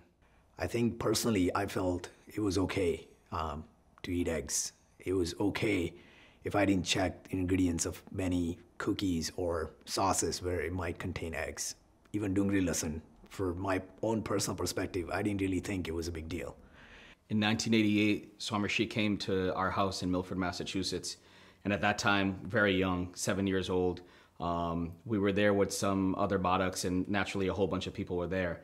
And we didn't know any better when it came to satsang. So we just woke up in the morning and just went and sat down, uh, took a shower, and sat down in Swami's puja. And uh, Swami looked around to us and said, uh, Alogoye puja nati kari? And we didn't have channels or anything. And at that time, we all kind of just threw our hands up and, yeah, no, we didn't do anything. So uh, Swami at that time, from his puja, his chanlo, he put a chanlo on me, Puja Nilkatsaya Swami, and Ankurbai. In 2002, I was hospitalized. The hospitalization lasted well over three months. My condition was so bad that I was not able to comprehend anything. મને યાદ છે અનુપને જ્યારે બ્રોક્ટન હોસ્પિટલમાં લઈ ગયા તો emergency રૂમમાં લઈ ગયા હતા તો એ વખતે એનું મેન્ટલ સ્ટેટસ એટલું બધું ખરાબ હતું ને કે એને કશી ખબર જ ના પડે એનું મેન્ટલમાં violence we would visit him in his hospital at night um, to bring him some food and stuff like that. And, you know, he would, if the nurse said that, hey, visiting hours are going to end soon, so make your visit quick, he would spit on them. આ વખતે જ્યારે રહેતો હતો એની જોડે, ત્યારે એક દિવસે એને મને પૂછ્યું કે, મહેન્દ્ર કાકા, તમને સીઆઈએ એટલે ખબર છે? મેં કહું આ સીઆઈ એટલે સેન્ટ્રલ ઇન્ટેલિજન્સ એજન્સી તો પછી એ કહે કે, આપણે સીઆઈએ છે એવું એસઆઈએ કેમ નથી કરતા? મેં કહું એસઆઈએ એટલે શું? તો કે, સ્વામિનારાયણ ઇન્ટેલિજન્સ એજન્સી તો મેં કહું આપણે એસઆઈએ કરીને કરવાનું શું? તો કે એસઆઈએ છે ને, બધી બહુ જ રોટલીઓ બનાવે અને રોટલીઓ વેચવાની અને એમાંથી જે કંઈ પૈસા આવે એ આપણે બાપાને આપવાના અને બાપા બધા શુભ કાર્યમાં વાપરી શકે. આમ કરતાં કરતાં અનુપને થોડું ઘણું સારું થયું એટલે અમે બોસ્ટન લાવ્યા અને બોસ્ટનમાં બધા ડૉક્ટરોને બતાવ્યું. પણ ડૉક્ટરે એમ જ કહ્યું કે આ જે બીમારી છે એને દવાખાનામાં કાયમ માટે દાખલ કરી દેવો પડે. આનો કોઈ ઉપાય નથી. એની અંદર તે જ અરસાની અંદર, ઇન્ડિયાની અંદર બાપાની સાથે વિચરણમાં અને પછી સારંગપુર જવાનું બધું નક્કી થયું હતું. તો સ્વામી બાપાને જણાવ્યું કે હવે દેશમાં આવવાનું થાય છે. ત્યારે સ્વામીએ પૂછ્યું કે ત્યાં શું ચાલે છે? તો આ અનુભાઈની સેવા ચાલે છે, બધા કિશોરોની સેવામાં જોડાયા છે, એની વાત બધી થઈ. ત્યારે સ્વામીએ કીધું કે અત્યારે ઉતાવળ કરતો નહીં. આપણો કિશોર બીમાર હોય, તેની સેવાની અંદર જોડાવવું જોઈએ. એવી રીતે સ્વામીએ મહિનો દોઢ મહિના વધારે એની સેવા થાય, એવી રીતે આજ્ઞા કરી. ત્યાર પછી એને થોડુંક સારું થયું, હોસ્પિટલથી ઘરે આવી ગયો અને સ્વામી બાબાની આજ્ઞા આવી ગઈ કે હવે દેશમાં આવો. તો દેશમાં ગયા તે વખતે બધા જ હરિભક્તોએ કીધું કે સાથે સાથે તમે કંઈક આગળ લઈ જાઓ કે જેથી કરીને અનુભાઈને સારું થાય, બાપાના આશીર્વાદ મળે. તો દેશમાં જ્યારે ગયા તે વખતે સ્વામીના સેવક સંતના પત્ર આપ્યો. અને સેવક સંતને પત્ર આપ્યો અને એમને વાત કરી કે ખાસ કરીને અંગ્રેજીની અંદર આમની માટે એક આશીર્વાદ પત્ર લખી આપજો. તો સેવક સંત બાપાને બધી વાત કરી. સેવક સંતે કાગળ પણ લખી આપ્યો. બાપાએ બધું વાંચ્યું. તો અચાનક જ સ્વામીને થયું કે હજી કંઈક બીજું કંઈક લખવાનું હોય તો પૂછીએ. તો સેવક સંત મને સ્વતઃ સ્વતઃ આવ્યા અને કીધું કે સ્વામી બાપા બોલાવે છે. તું સ્વામીની રૂમમાં ગયો. આપણે તો પહેલી વાર આવું કંઈક અનુભવ થયો. એકવીસ બાવીસ વર્ષની ઉંમર.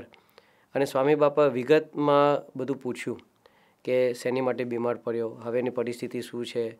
બધા હરિભક્તો શું કરે છે? કેવી રીતે એને સારું થશે? એમ બધું સ્વામીને જેમ જેમ સ્વામી પ્રશ્ન પૂછતા ગયા, એવી રીતે જવાબ આપતા ગયા. અને સ્વામીએ પછી પત્ર આપ્યો અને કીધું કે આ વાંચ, આ બરાબર છે.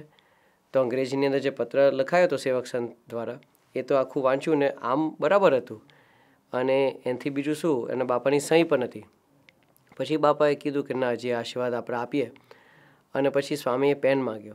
પેન માંગીને સ્વામીએ પછી જાતે પોતાના હાથે પાછળના ભાગમાં આખું પાનું ભરી દીધું. પછી બીજી બાજુ જે થોડુંક જગ્યા હતી, એની અંદર પણ સ્વામીએ જાતે પોતાના હાથે આશીર્વાદ લખ્યા.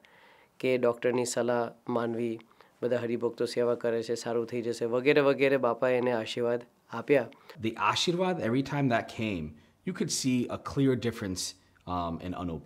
You know, when he would read that Ashirwad and he would see those messages, you could see that that he took to heart. He understood it very clearly, even though the rest of the world he didn't understand.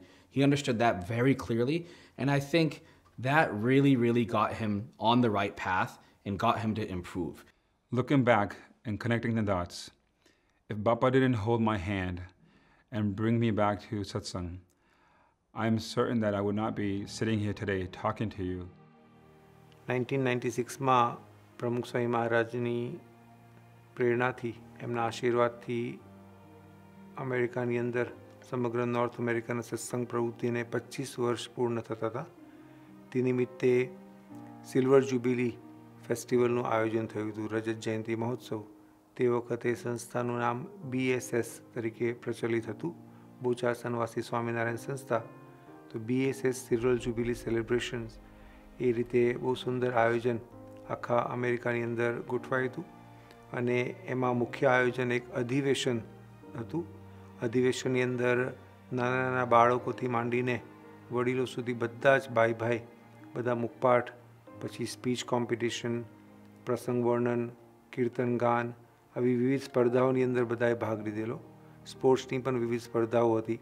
તો આ બધી સ્પર્ધાનું આયોજન અને આવું મોટા પાયે અધિવેશનનું આયોજન અમેરિકા ખાતે સૌ પ્રથમ વખત થઈ રહ્યું હતું.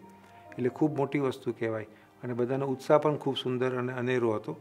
પ્રમુખ સ્વામી મહારાજે એ વખતે અધિવેશનની તૈયારી સારી રીતે કરી શકાય. એ માટે વીસ સંતોને અહીંયા આગળ અમેરિકા ખાતે ત્રણ મહિના માટે મોકલ્યા હતા.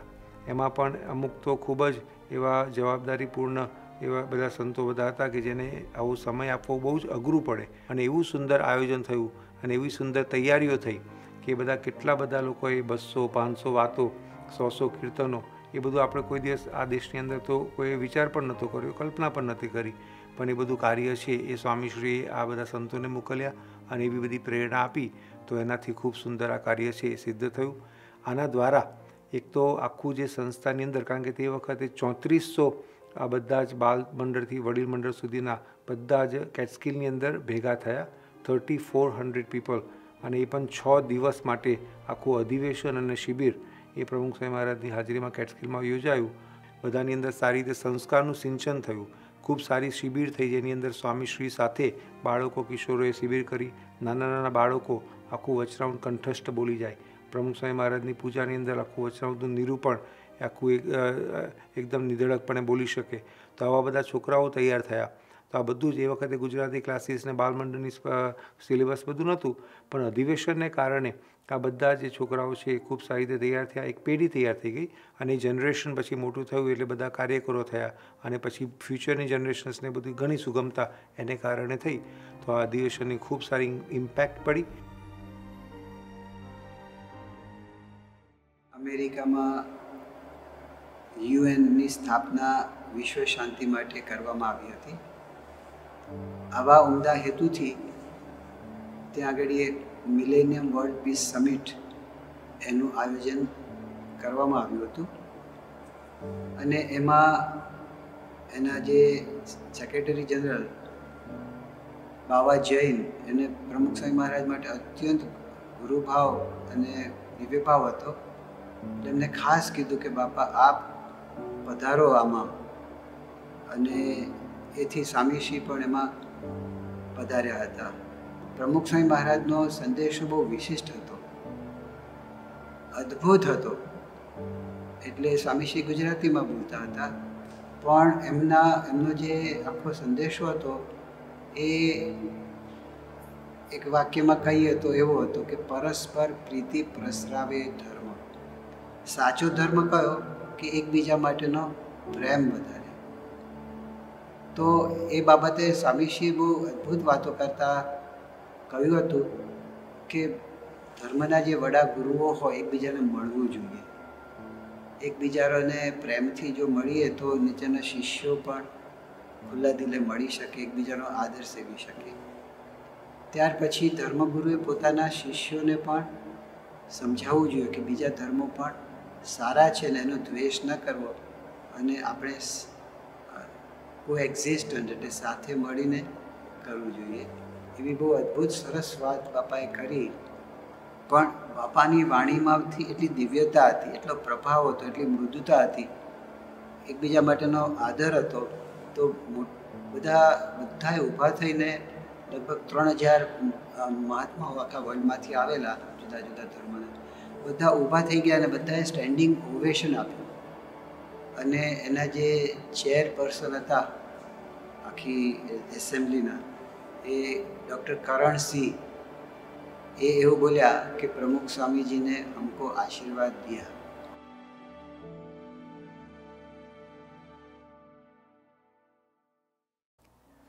February 2nd, 2008 is a day that I'll never forget. That day, my dad was making cha in the mandir kitchen for all of the Haribhaktos like he did every week. But because it was an abnormally warm day out, he went outside to play cricket with all of the other kakas. But shortly after playing a little bit of cricket, he started to feel some pain in his chest. Initially, he thought it was gas, but because the pain persisted, he opted to go inside. And if you remember old Edison Mandir, when you walk in through the main entrance, on the right hand side was the shoe stall, and right outside of that was the marble murti of Pramukh Swami Maharaj. And right then and there, my dad collapsed, and at the feet of Pramukh Swami Maharaj, he went to Dham. Immediately, so many doubts, so many questions, so many insecurities flooded into my mind. I was only 17 at the time. I hadn't finished high school. I had college ahead of me, and then my entire life. And see, my dad was my mentor, my guide, the person I'd go to for all of my questions. But in the blink of an eye, he was gone. I had so many questions, doubts, insecurities, but they would soon go away. The following morning, we called Pramukh Swami Maharaj. I'll never forget that phone call because I was so nervous when talking to him that I didn't think I was making any sense. But for Swami Bappa, that didn't matter. He listened to me attentively. He understood everything that I was saying. And he gave us Ashirvad that my dad's soul was resting peacefully in Akshardham. And not only that, he started to provide guidance where to do the Asti Visarjan, which nadis to sanctify the ashes. And when he told me all of that, it felt as if a huge weight had been lifted from my shoulders. From that one phone call, it had felt as if Swami Baba was telling me not to worry about anything because he was going to be there for me forever. And he was, and he always has been. I had thought I had lost a father, but in reality, I had gained an entire satsang family who was always there for me whenever I needed. If there were things that I needed to do around the house, normal housework, I could turn to all of the uncles, the kakas in Mandir who have come to my house to help me fix things around the house. When it came to matters about college, what to study, about career progression, I could turn to all of the Garekers who weren't just mentors of mine, they were my brothers. They would go out of their way to help and support and guide me. And for life's most personal matters, I could turn to the Puja Santo, who I could confide in. So you see, I had thought I lost a father, but in reality, I gained an entire satsang family that uplifted me from those down days and have supported me to who I am today.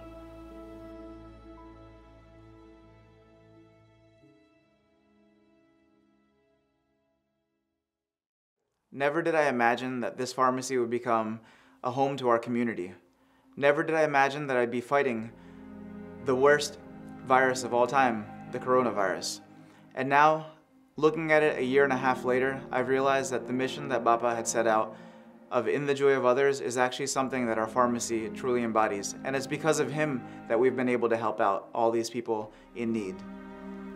When the first case of COVID hit Montgomery County, the town that this pharmacy's in, I realized, just like Pramukh Sai Maharaj did in times where there were floods in India, a tornado, or earthquakes that happened, he would react immediately. And no matter where he was, he would send out the appropriate resources, and also he himself got involved. So for me, it wasn't just being on the battleground, trying to get people together to help. It was also being that, that source of inspiration, being that person that leads. Because that's what Pramukh Swami was. He was somebody who would lead, and he'd pass that message on to be able to, to lead with love. As the mission continued, then I realized that Bapa was able to spread this message of love by gathering people. And for him, it could have been people from different towns, different villages throughout the world. For me, it was people in my community. And that's when I reached out to the community. But when they saw that we were willing to work even at 12 o'clock at night and go to someone's house to give them a vaccine, or simply stay out extra late just to make sure not a single vaccine was wasted at a time where there was people dying in the world not able to get a vaccine, that's when they joined our mission. And to date, over 1,000 volunteers of our community have joined forces to help us in our mission to vaccinate our community. And it wasn't the force of something that I did. The secret force behind this was the message that Pramukh Swami Maharaj had always given us. In the joy of others lies our own. No matter if it was 2 o'clock in the morning when I was at the pharmacy giving a vaccine to a couple that was 90 years old, because they couldn't go anywhere else to get the vaccine, or whether it was me going to a dangerous part of a neighboring town to give a paralyzed patient a shot at night just because he had nobody else that would come to his house to give a shot. The messages that Pramukh Swami Maharaj had given us throughout our life resonated. Those messages that I learned in Bal Sabha and Kishore Sabha of doing things and being a servant to others continued even today in helping my community. And I still remember when I went on the Live with Ryan and Kelly show, a show viewed by millions of viewers throughout the world, he had asked, Who is your sense of inspiration? Before the show even began, we had a little conversation, and I told him about our Guru. I told him about Pramukh Swami Maharaj. And to date, that message has been passed along to any of the media that has reached out. Because I can only be one person, but when I, with my community, have come together, the world has become a part of us, and that mission has gone forward.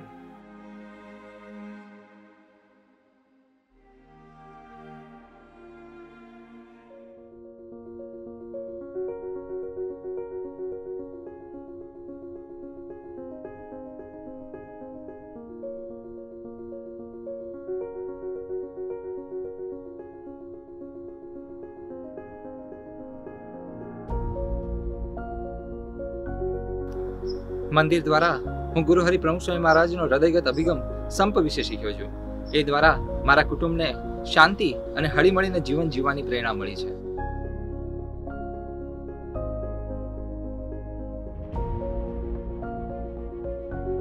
Wonder has helped me to respect my parents in my day to day life.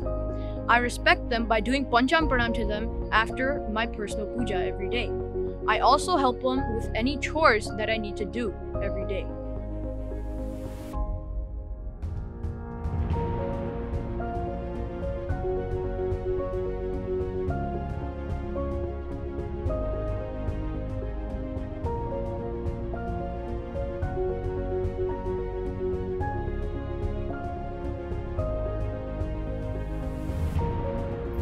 Giving me this mandir, Pramukh Sai Maharaj inspires me to give back through serving others in my mandir as well as my community.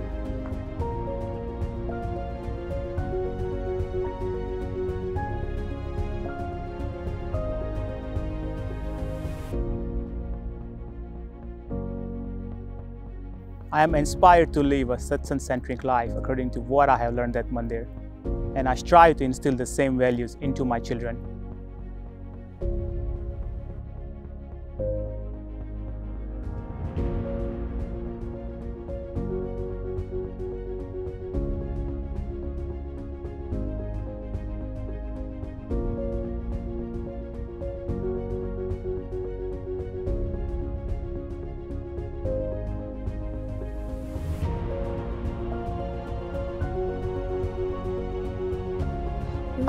Taught me to always be kind and respectful to everyone I meet and always keep a smile on my face.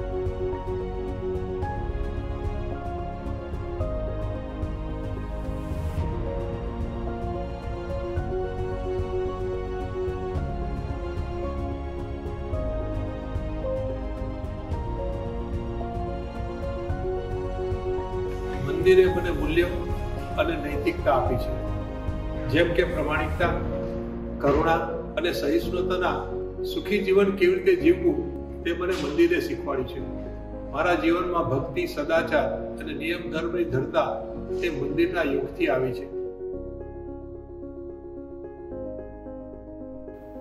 This mandir inspires me to help others by giving back to the community through walkathons, blood drives, and other events.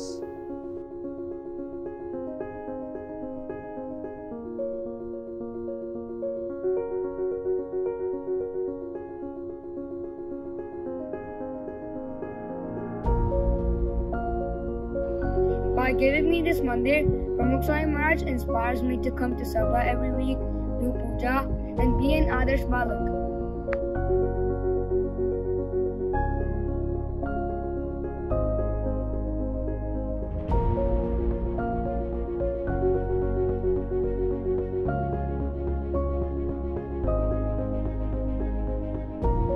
Pramukh Swami Maharaj's tireless efforts in creating this mandir inspires me to spread his life teachings and encourage others to live a spiritual life.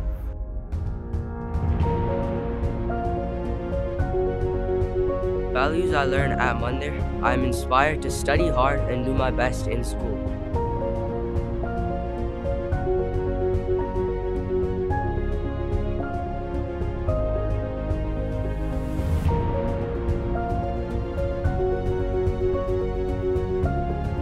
ગુરુ પ્રમુખ સ્વામી મહારાજની પ્રેરણાથી મને આ મંદિર પ્રાપ્ત થયું તેમના જીવનમાંથી મને સમયનો ભોગ આપી સ્વયંસેવક તરીકે સેવા કરવાનું બળ મળે છે અને સાથે સ્વયંસેવકોનો સાથ પણ મળે છે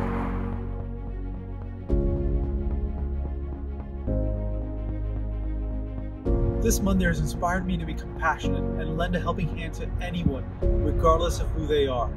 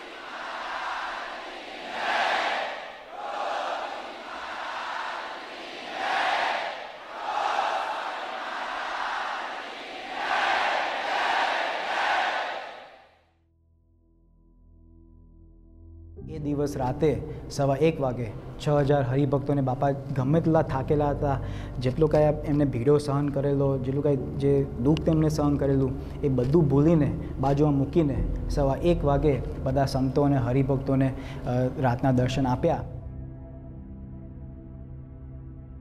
લગભગ એસી નેવું ટકા હરિભક્તોની આંખોની અંદર હર્ષના આંસુઓ આપણે દેખાય.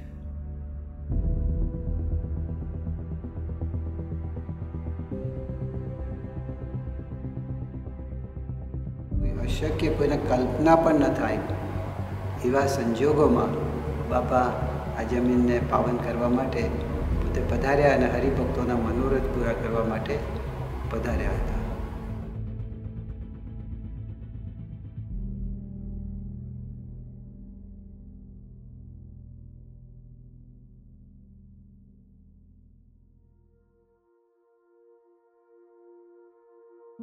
ઓગસ્ટ બે હજાર તેરના એન્ડમાં સ્વામીશ્રીએ એક ગંભીર બીમારી ગ્રહણ કરેલી કે જે સાત આઠ મહિના સુધી ચાલેલી.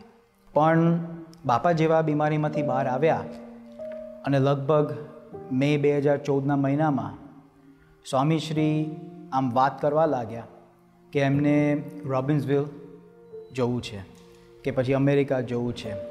કે પછી રોબિન્સવિલ અક્ષરધામની જમીન જોવાનું મળ્યું નથી, તો ત્યાં આપણે જોવા જવું છે. આવા પ્રકારના શબ્દો બાપા મેં બે હજાર ચૌદમાં બોલવાનું ચાલુ કર્યું. હવે બાપા જ્યારે આ વાતો જ્યારે ચાલુ કરી, ત્યારે એ વખતે કોઈના મનમાં એવું કાંઈ હતું નહીં. કારણ કે બધાને એવું કાંઈ કલ્પનાય પણ નથી મનમાં કે આવી પ્રકારની મુસાફરી થઈ શકે.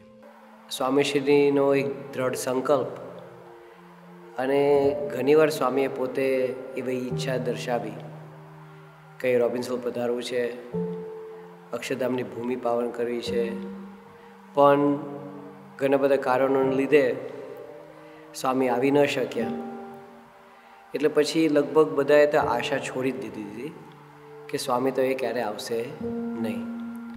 એના ઘણા કારણો હતા. એક કારણ આપણે જોઈએ તો, એક તો એ હતું કે બાપા પોતે બોલેલા. કે એમને સારંગપુરની બહાર નીકળવું નહોતું. બીજું કારણ એ હતું કે સ્વામીશ્રીની ઉંમર અને એમનું સ્વાસ્થ્ય.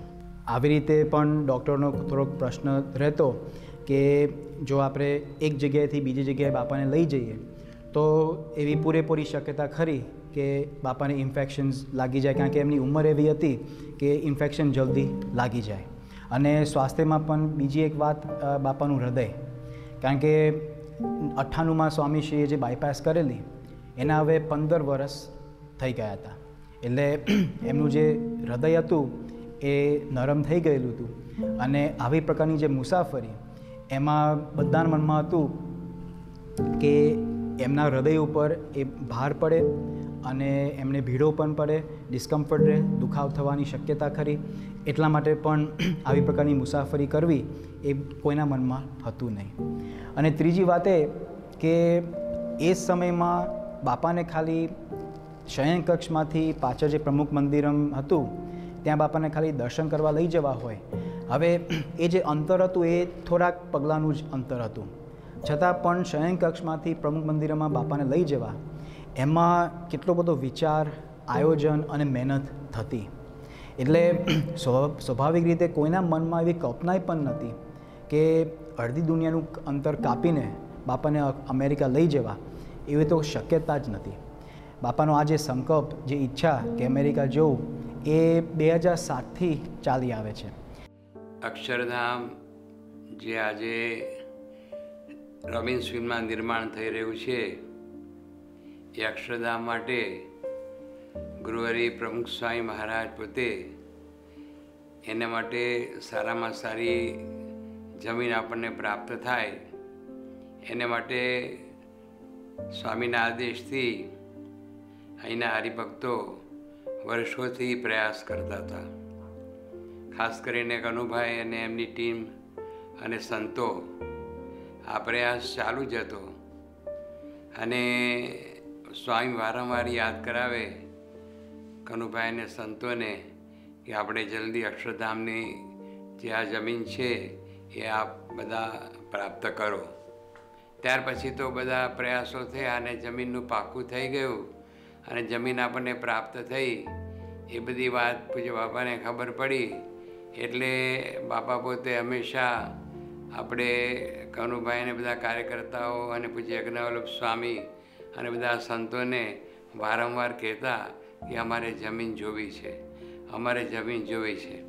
જ્યારે દેશમાં આવે ત્યારે વાત કરે. વળી કંઈક ફોન ઉપર વાત થાય તો વાત કરે કે અમારે જમીન જોવી છે. અમારે જમીન જોવી છે.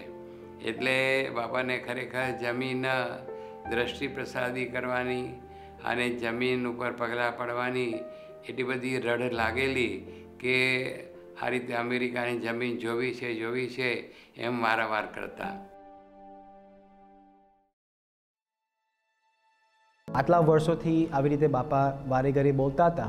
એટલે સેવક સંતોના પણ મનમાં હતું કે બાપાનો આ એક સંકલ્પ છે ને આટલો આગ્રહ રાખે છે, તો આપણે થોડોક એમાં વિચાર વધારે આગળ મૂકીએ. એટલે પછી બીજા ડૉક્ટરોની સલાહ લીધી. ડૉક્ટરો જે આપણે કાર્ડિયોલોજિસ્ટ ડૉક્ટર તેજસભાઈ જેવાને પણ આપણે વાત કરી કે આવી રીતે બાપાનો સંકલ્પ છે, એમની ઈચ્છા છે, તો આવી મુસાફરી થઈ શકે, કરવા જેવી છે? તો તેજસભાઈ કે ચાલો આપણે સ્વામીશ્રી પાસે જઈએ. અને પછી અમે સારંગપુર આવ્યા અને સારંગપુરની અંદર પરમ પૂજ્ય બાપા પોતે પોતાના એ પલંગની અંદર બિરાજમાન હતા અને તેજસભાઈએ એ બધી તબિયત ને બધું જોયું અને તે વખતે પછી વાત કાઢી આપણે કે બાપા, આ રીતે આપને અમેરિકા જવું છે? તો એ વખતે પણ સ્વામી એકદમ આમ પોતાનું મુખારવિંદ હલાવ્યું કે હા, જવું છે, હા, જવું છે. એકદમ હસવા માંડ્યા. અને કે જવું છે જવું છે જવું છે. એટલે પછી તે વખતે બાપાને વાત કરી કે તેજસભાઈ હા પાડે છે. કે જો અમેરિકા જવું હોય તો ભલે તમારું સ્વાસ્થ્ય અત્યારે એકદમ એ રીતે તેને કહીએ ને કે ઘણું બધું એ નરમ થઈ ગયું હતું. પણ તેજસભાઈ કહે છે કે જઈ શકાય, વાંધો નહીં. અને હું સાથે આવીશ.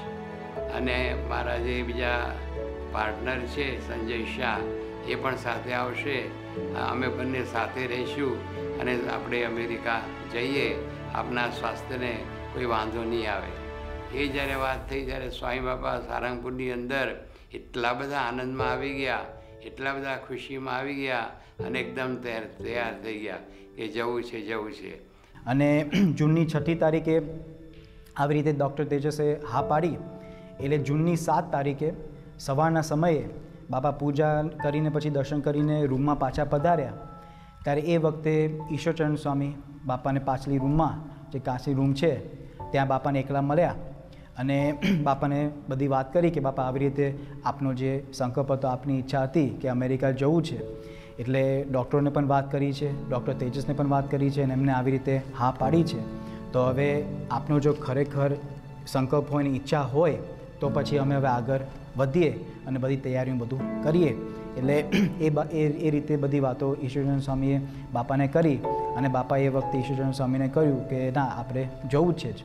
એટલે એટલું ઈશ્વરચંદ્ર સ્વામી માટે બહુ હતું. એટલે પછી બહાર આવ્યા અને બધા સેવકો અને ડૉક્ટરો ત્યાં ઊભા હતા રાહ જોતા હતા. અને એ વખતે ઈશ્વરચંદ્ર સ્વામીએ કહ્યું કે હવે બાપાની ઈચ્છા છે, ડૉક્ટર તેજસે હા પાડી છે. તો હવે અને સંતો પણ, મોટેરા સંતોએ પણ બધા ઈચ્છા બતાવી છે. તો હવે આપણે બધી તૈયારીઓ કરીએ, બધું ચાલુ કરીએ. એટલે સારા કામમાં સો વિઘ્ન જેમ કહે છે, એ આ કામમાં તો ઘણા બધા વિઘ્નો આવેલા. એમાં મુખ્ય એક વિઘ્ન એ પ્લેનનું એક વિઘ્ન આવેલું. હવે બાપા ઓગસ્ટની પાંચ તારીખે ઇન્ડિયાથી નીકળવાના હતા અમેરિકા જવા માટે, પણ ઓગસ્ટની પહેલી તારીખે બાપા સારંગપુરથી ગાંધીનગર જવાના હતા. હવે ઓગસ્ટની પહેલી તારીખને લગભગ ત્રણ ચાર દિવસ પહેલાં આપણને ખબર પડી કે બાપા ભલે આમ આ બાજુ વિચાર છે કે અમેરિકા જવાનો, પણ કોઈ પ્લેન નથી. એટલે હવે બીજું કાંઈક ન હોય તો કાંઈક ઇમ્પ્રોવાઇઝ થઈ શકે, કાંઈક થઈ શકે. પણ પ્લેન જ ન હોય તો બાપાને ઇન્ડિયાથી અમેરિકા કેવી રીતે લઈ જવા? એટલે યોગીચરણ સ્વામી પણ બાપાને વાત કરી કે બાપા, અમે બધી મહેનત કરી, આપની ઈચ્છા હતી, સંકલ્પ હતો એટલે બધાએ બધી મહેનત કરીને, બધું વિચારીને, બધું આયોજન કરીને બધું તૈયાર કર્યું. અને આપણે બધાને, આપણે જવું જ છે જ. પણ હવે આવો વિઘ્ન આવ્યો છે અને પ્લેન જ નથી, તો પછી કેવી રીતે જઈ શકાય? એટલે પછી એ વખતે યોગીચરણ સ્વામી બાપાને વાત કરી કે બાપા, આપણે જો મોકૂફ રાખીએ તો સારું. પણ એ વખતે બાપાએ કહ્યું કે ના ભગવાન સર્વ કરતા હતા છે, એ જ બધું કરે છે, સારું કરે છે, તો હજુ તમે પ્રયત્ન ચાલુ રાખો અને થશે.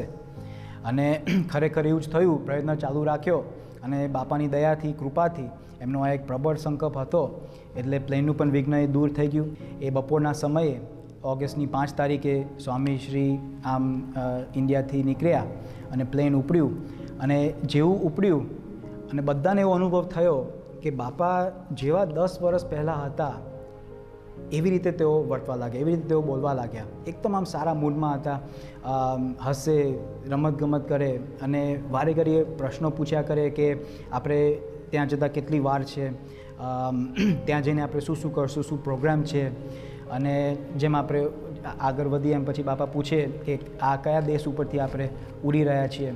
એવી રીતે બાપા વારે ઘડી આમ આમ આમ પૂછ્યા કરે. એટલે હદ સુધી કે સેવકો અને ડૉક્ટરોને એવું થઈ ગયું કે આપણે હવે પરમનન્ટ બાપાનો ઉતારો ત્રીસ હજાર ફૂટે આપણે રાખીએ, હવામાં આપણે રાખીએ. કારણ કે બાપાનું આ મૂડ એટલો સારો હતો તબિયત એટલી સારી હતી. આ મૂળ કારણ કે બાપાની આ જે ઈચ્છા કે અક્ષરધામ જોવા, જમીન જોવા આપણે જઈએ છીએ ત્યાં અમેરિકા આપણે જઈએ છીએ, એ ઉત્સાહમાં બાપા આવી રીતે તબિયત એકદમ સારી રાખી. તો દેશમાંથી સ્વામી જ્યારે વિદાય લીધી, તો સેવક સંતો, મોટેરા સંતોએ ખાસ અહીંયા સૂચના આપી હતી. કે સ્વામીશ્રી લગભગ સત્તરથી અઢાર કલાક સુધી ફ્લાઇટમાં બેસે. તો આટલી લાંબી મુસાફરીની અંદર જ્યારે સ્વામી બેસે તો થાકી જશે. સાથે સાથે સમયનો ચેન્જ ટાઈમ ડિફરન્સ હોય. એટલે જેટલેગ પણ લાગે. એટલે આપણે કોઈ પણ પ્રકારનું આયોજન પહેલાં બેથી ત્રણ દિવસે કરવું તો નહીં જ. અને સાથે સાથે સ્પષ્ટ સ્પષ્ટ સૂચના મળી હતી કે જે દિવસે સ્વામી સ્વાગત થાય, તો કોઈ પણ પ્રકારનો સ્વાગતનો કાર્યક્રમ કરવો નહીં. પછી અર્ધ વચ્ચે બેલ્જિયમ રોકાવાનું હતું રિફ્યુલિંગ માટે. એટલે પ્લેન જેવું બેલ્જિયમમાં ઉતર્યું, એટલે બાપાએ તરત પૂછ્યું કે આવી ગયા? એટલે સંતો કહ્યું કે ના બાપા, હજુ તો આપણે અર્ધ વચ્ચે જ પહોંચ્યા છીએ. આપણે હજુ રિફ્યુલિંગ કરવાનું છે અને કલાક, દોઢ કલાક પછી આપણે પાછા આપણે નીકળીશું. પછી વારે ઘડીએ દર પાંચ, દસ મિનિટે બાપા આમ પૂછ્યા કરે કે આપણે કેટલી વાર છે? પતી ગયું? રિફિલિંગ થઈ ગયું? કેટલી વાર છે હજુ? એમ પાંચ દસ મિનિટ બાપા પૂછ્યા કરે. અને એની અંદર બાપા બોલી ગયા કે મારા હરિભક્તો રાહ જુએ છે. પણ એ વખતે એ સમયે જ્યારે બાપા પ્લેનમાં આવી રીતે બોલ્યા કે મારા હરિભક્તો રાહ જુએ છે, ત્યારે ખ્યાલ આવ્યો કે કેવળ અક્ષરધામ માટે નહીં, પણ અક્ષરધામ માટે જે હોમ, હોમનારા જે આપણે જે તન, મન, ધનથી સેવા કરનારા જે હરિભક્તો છે, જે સંતો છે એમની માટે બાપા ત્યાં અમેરિકા પણ વધારે છે. એટલે આવી રીતે પછી જ્યારે રિફિલિંગ બધું પૂરું થઈ ગયું અને પ્લેન આમ ઉપડતું હતું અને બાપા આમ એટલા ઉત્સાહમાં હતા કે બાપા પ્લેનને આમ આજ્ઞા કરવા લાગ્યા કે ઉડ ઉડ. અને એમ કરીને આમ હાથથી આમ બાપા ઈશારો કરે, જેમ પ્લેન આમ ઉડે એમ. પૂજ્ય યોગીચરણ સ્વામીનો ફોન આવ્યો હતો અને એમને વાત કરી હતી કે સ્વામી પ્લેનની અંદર જમ્યા હતા. સ્વામી ખૂબ પ્રફુલ્લિત છે, સ્વામી ખૂબ ઉત્સાહમાં છે. તો હવે કંઈક સ્વાગતનું આયોજન આપણે કરીએ. અને બહુ જ સરસ આયોજન કરજો, બાળકો, કિશોરો, બધા હરિભક્તો પણ બધા જોડાય, બધાને બોલાવજો. અને ખૂબ ભવ્ય રીતે પ્રમુખ સ્વામી મહારાજને અક્ષરધામના ભૂમિ પર એમનું સ્વાગત થાય. સાથે સાથે પ્રવેશ સ્થાને કંઈક એવું સ્થાન આપણે ઊભું કરીએ કે જેથી કરીને ઇતિહાસની અંદર ભવિષ્યમાં પણ આપણે ખ્યાલ આવે કે પ્રમુખ સાહેબ મહારાજે પહેલી જગ્યાએ એમને પગલાં ક્યાં થયા હતા, એવું એક સ્થાન પણ આવી રીતે ત્યાં આપણે તે વખતે એનું એની સ્થાપના થાય, એવી પણ એવી રીતે સૂચના એમને થઈ. અને પછી એમ કરતાં કરતાં બાપા અહીંયા ઓગસ્ટની છ તારીખે રાતના લેન્ડ થયા અમેરિકામાં. અને બાપા હજુ સારા એવા મૂડમાં હતા બધું હતું. પણ જેવા ગાડીમાં બેઠા અને ગાડીમાંથી એરપોર્ટ તરફથી નીકળ્યા અને મંદિર તરફ ગયા, ત્યાં બાપા આમ ગાડીમાં ગાડીમાં એકદમ સૂઈ ગયા. હવે આ બાજુ સેવકોના મનમાં બધી દ્વિધા ચાલુ થઈ ગઈ. કારણ કે એક બાજુ બધાએ તો બધાને ત્યાં કહી દીધું હતું કે બાપા દર્શન આપશે. કારણ કે પ્લેનની અંદર બાપા એકદમ સારા મૂડમાં હતા. એટલે કહી દીધું કે ત્યાં છ હજાર હરિભક્તો ભેગા થયા છે, તો બાપા બધાને દર્શન આપશે. પણ બધાને થયું કે આપણે હજુ કોઈને કાંઈ કશું કહેવું નથી, જેમ આપણે મંદિરની નજીક આવીએ, પછી આપણે જોઈશું. અને જેવી ગાડી આમ વન થર્ટી ઉપરથી આમ ટર્ન માર્યો ને એક્ઝિટ લીધી અને તરત જ બાપા એ વખતે જાગી ગયા. અને જાગી ગયા સંતોએ કહ્યું કે બાપા આપણે મંદિરે આવી ગયા છે, તો હરિભક્તોને દર્શન આપવા છે કે પછી આપણે સીધા રૂમમાં જઈને આપણે આરામ કરવો છે. એટલે બાપાએ તરત જ આમ કશું બોલ્યા વગર પાગ માટે ઈશારો કર્યો. અને પછી બાપા બોલ્યા કે આપણે બધાને દર્શન આપીએ. અને એ દિવસ રાતે સવા એક વાગે છ હજાર હરિભક્તોને બાપા ગમે તેટલા થાકેલા હતા, જેટલો કાંઈ એમને ભીડો સહન કરેલો, જેટલું કાંઈ જે દુઃખ તેમને સહન કરેલું, એ બધું ભૂલીને બાજુમાં મૂકીને સવા એક વાગે બધા સંતો અને હરિભક્તોને રાતના દર્શન આપ્યા. એટલે આખું આવી રીતે સ્વામી, એ તે વખતે પ્રસંગની અંદર સ્વામી આવી રીતે એમની આખી એમનું આખું સ્વાસ્થ્ય જે છે ને એનો પલટો કરતો હોય એવો આવો અનુભવ આપણને થયો હતો. સ્વામી બાપા જ્યારે અંદર આવ્યા તે વખતે ચારે બાજુ બધા હરિભક્તો. આપણે પ્રવેશ સ્થાનની અંદર મહંત સ્વામી મહારાજ સાથે પ્રમુખ સ્વામી મહારાજે ત્યાં પ્રવેશ સ્થાનની આવી રીતે સ્થાપના કરી અક્ષરધામની ભૂમિ પર. સાથે સાથે બધા સંતો આખા અમેરિકાથી ત્યારે પણ પધાર્યા હતા. સ્વામી જ્યારે અંદર આવ્યા, તો ચારે બાજુ એ જે સ્વાગતનો આખો અનુભવ થયો હતો. હરિભક્તો પુષ્પાંજલિ અર્પણ કરતા હોય. બહેનો જે રંગોલી પૂરી હતી એ પણ ખૂબ સારી રીતે બાપાની ગાડી એની ઉપર આવી રીતે પસાર થઈ ગયા હતા. બધા કિશોરો જે છે એ લોકો નૃત્ય પણ કરતા હતા. અને હરિભક્તોના મુખારવિંદની સામે આપણે જ્યારે જોઈએ ને, ત્યારે લગભગ એંસી નેવું ટકા હરિભક્તોની આંખોની અંદર હર્ષના આંસુઓ આપણે દેખાય. એ જ્યારે હરિભક્તોને આપણે જોઈએ ને, ત્યારે આપણે થાય કે પ્રમુખ સાહેબ મહારાજ અક્ષરધામની ભૂમિ તો પાવન કરવા આવ્યા, પણ સાથે સાથે આ બધા ભાવિક ભક્તોના સંકલ્પો પણ પૂરા કરવા આવ્યા હતા. અને એક વાગે તો હજારો માણસો બાપાના સ્વાગતમાં અહીંયા આગળ હતા. અને એ રીતે પછી બાપા પોતે અહીંયા આગળ એમના ઉતારામાં બિરાજમાન થયા. અને સવારના એમની એટલી બધી ચાનક હતી કે એની એમને તો આટલી બધી ચોવીસ કલાકની પ્લેનની સળંગ મુસાફરી કરેલી. પણ કોઈ થાક નહીં અને કોઈ જેટલેક નહીં, કંઈ નહીં. સવારના પોરમાં તૈયાર થઈ ગયા વહેલા વહેલા. અને એકદમ પછી અહીંયા આગળ મંદિર તો બાજુમાં જ છે, ત્યાં પોતે પધાર્યા. અને એ રીતે પછી પોતે ત્યાં મંદિરમાં દર્શન કર્યા, જોયું બધું તે પ્રતિષ્ઠા બાકી હતી. પણ બાપા બધે ફર્યા, ખૂબ એમને આનંદ થયો. અને છેલ્લી એક વાત કે ઓગસ્ટની નવ તારીખે બાપા સુબ્રમણ્યમને, મળ્યા હતા, ડૉક્ટર સુબ્રમણ્યમને. હવે ડૉક્ટર સુબ્રમણ્યમ અઠ્ઠાણુંની સામા પ્રમુખ સાંઈ મહારાજની આ બાયપાસ સર્જરી કરેલી. એટલે તેઓ જાણતા હતા કે પંદર વર્ષ પછી સ્વામીશ્રીનું જે હૃદય છે, એનું સ્વાસ્થ્ય હવે કેવું હોઈ શકે. અને જેવા બાપાને આમ જોયા અને એમની નજીક જેમ જેમ આવતા ગયા, એમ સુબ્રમણ્યમ એમનું માથું જ હલાવ્યા કરે. એક પણ શબ્દ તેઓ બોલી ન શક્યા, પણ તેઓ આમ માથું જ કરે. અને થોડા સમય પછી યોગીચરણ સ્વામીએ જોયું કે આ સુબ્રમણ્યમ કશું કંઈ બોલતા નથી, એટલે અમે ડૉક્ટરને પૂછ્યું કે આમ બધું બરાબર છે ને? કોઈ પ્રશ્ન નથી ને? એટલે ડૉક્ટર સુબ્રમણ્યમે એ વખતે વાત કરી કે મને મનાતું નથી કે પ્રમુખ સ્વામી મહારાજ મારી સામે અહીંયા અમેરિકાની અંદર ઊભા છે. એમ કરીને પછી એમને પ્રમુખ સ્વામી મહારાજ સામે જોયું અને અંગ્રેજીમાં તેઓ બોલવા લાગ્યા કે how much pain must you have endured on that flight how much pain must you have gone through on that flight you must truly love your devotees. અને એ વખતે બધા ત્યાં જે ઊભા હતા અને જ્યારે શુભમુનિમાં આવી રીતે બોલ્યા, ત્યારે બધાને આમ ખ્યાલ આવ્યો કે ખરેખર સ્વામીશ્રીને હરિભક્તો પ્રત્યે, સંતો પ્રત્યે કેટલો બધો પ્રેમ છે કે આવી રીતે દુઃખ વેઠીને પણ વીરો સહન કરીને પણ આવી રીતે આ ઉંમરે મુસાફરી કરવી આ એમનો પ્રેમ Pramukh Swami Maharaj's journey was a journey for us. His genuine care, his sincere sacrifice uplifted us to become better satsangis, to become better people. Now, it's up to us to celebrate his life by making his journey our own.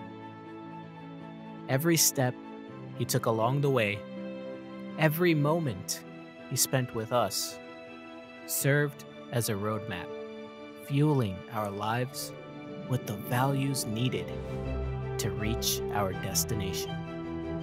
Fueling our lives with the values needed to reach our destination. Pramukh Sai Maharaj has always held our hand. Age was never a barrier. Swami connected with us all. He taught us how to set aside our differences and live in harmony. No matter where we are from, he reconnected us with our culture. Even when his heart wanted to give up, he didn't. He marched us the right direction in life. And I personally remember when he did the impossible for us.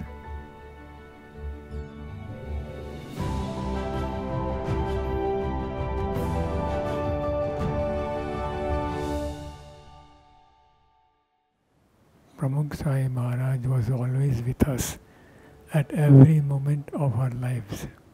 Our journey will not be an easy one it will have many challenges and ups and downs. But Pramukh Swami Maharaj will always be there to guide us. Pramukh Swami Maharaj will always hold your hand, and also the Pragat Satpurush will always hold your hand. સ્વામી બાપા આપ તો હંમેશા અમારો હાથ ઝાલી જ રાખો છો પણ અમે ક્યારેક છોડી દઈએ છીએ કૃપા કરી, માર્ગદર્શન આપો કે જેથી અમે આપનો હાથ હંમેશ માટે ઝાલી જ રાખીએ.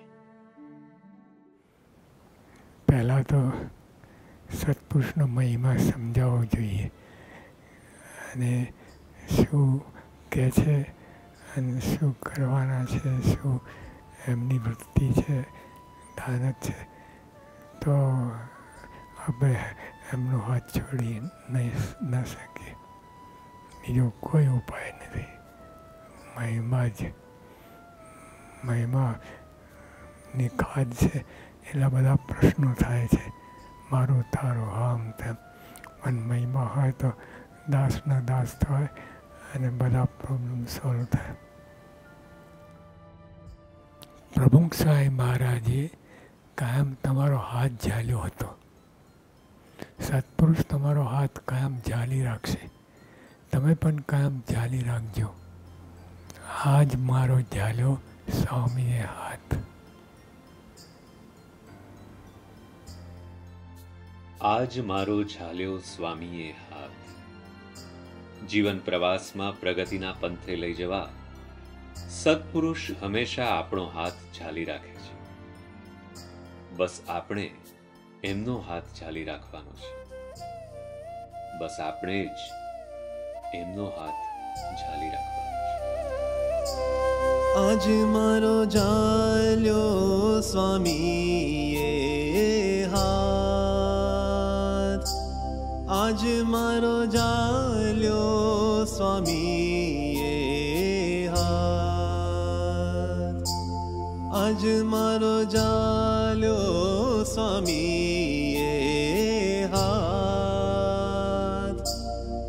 આજ મારો જાલ્યો સ્વામી હાથ.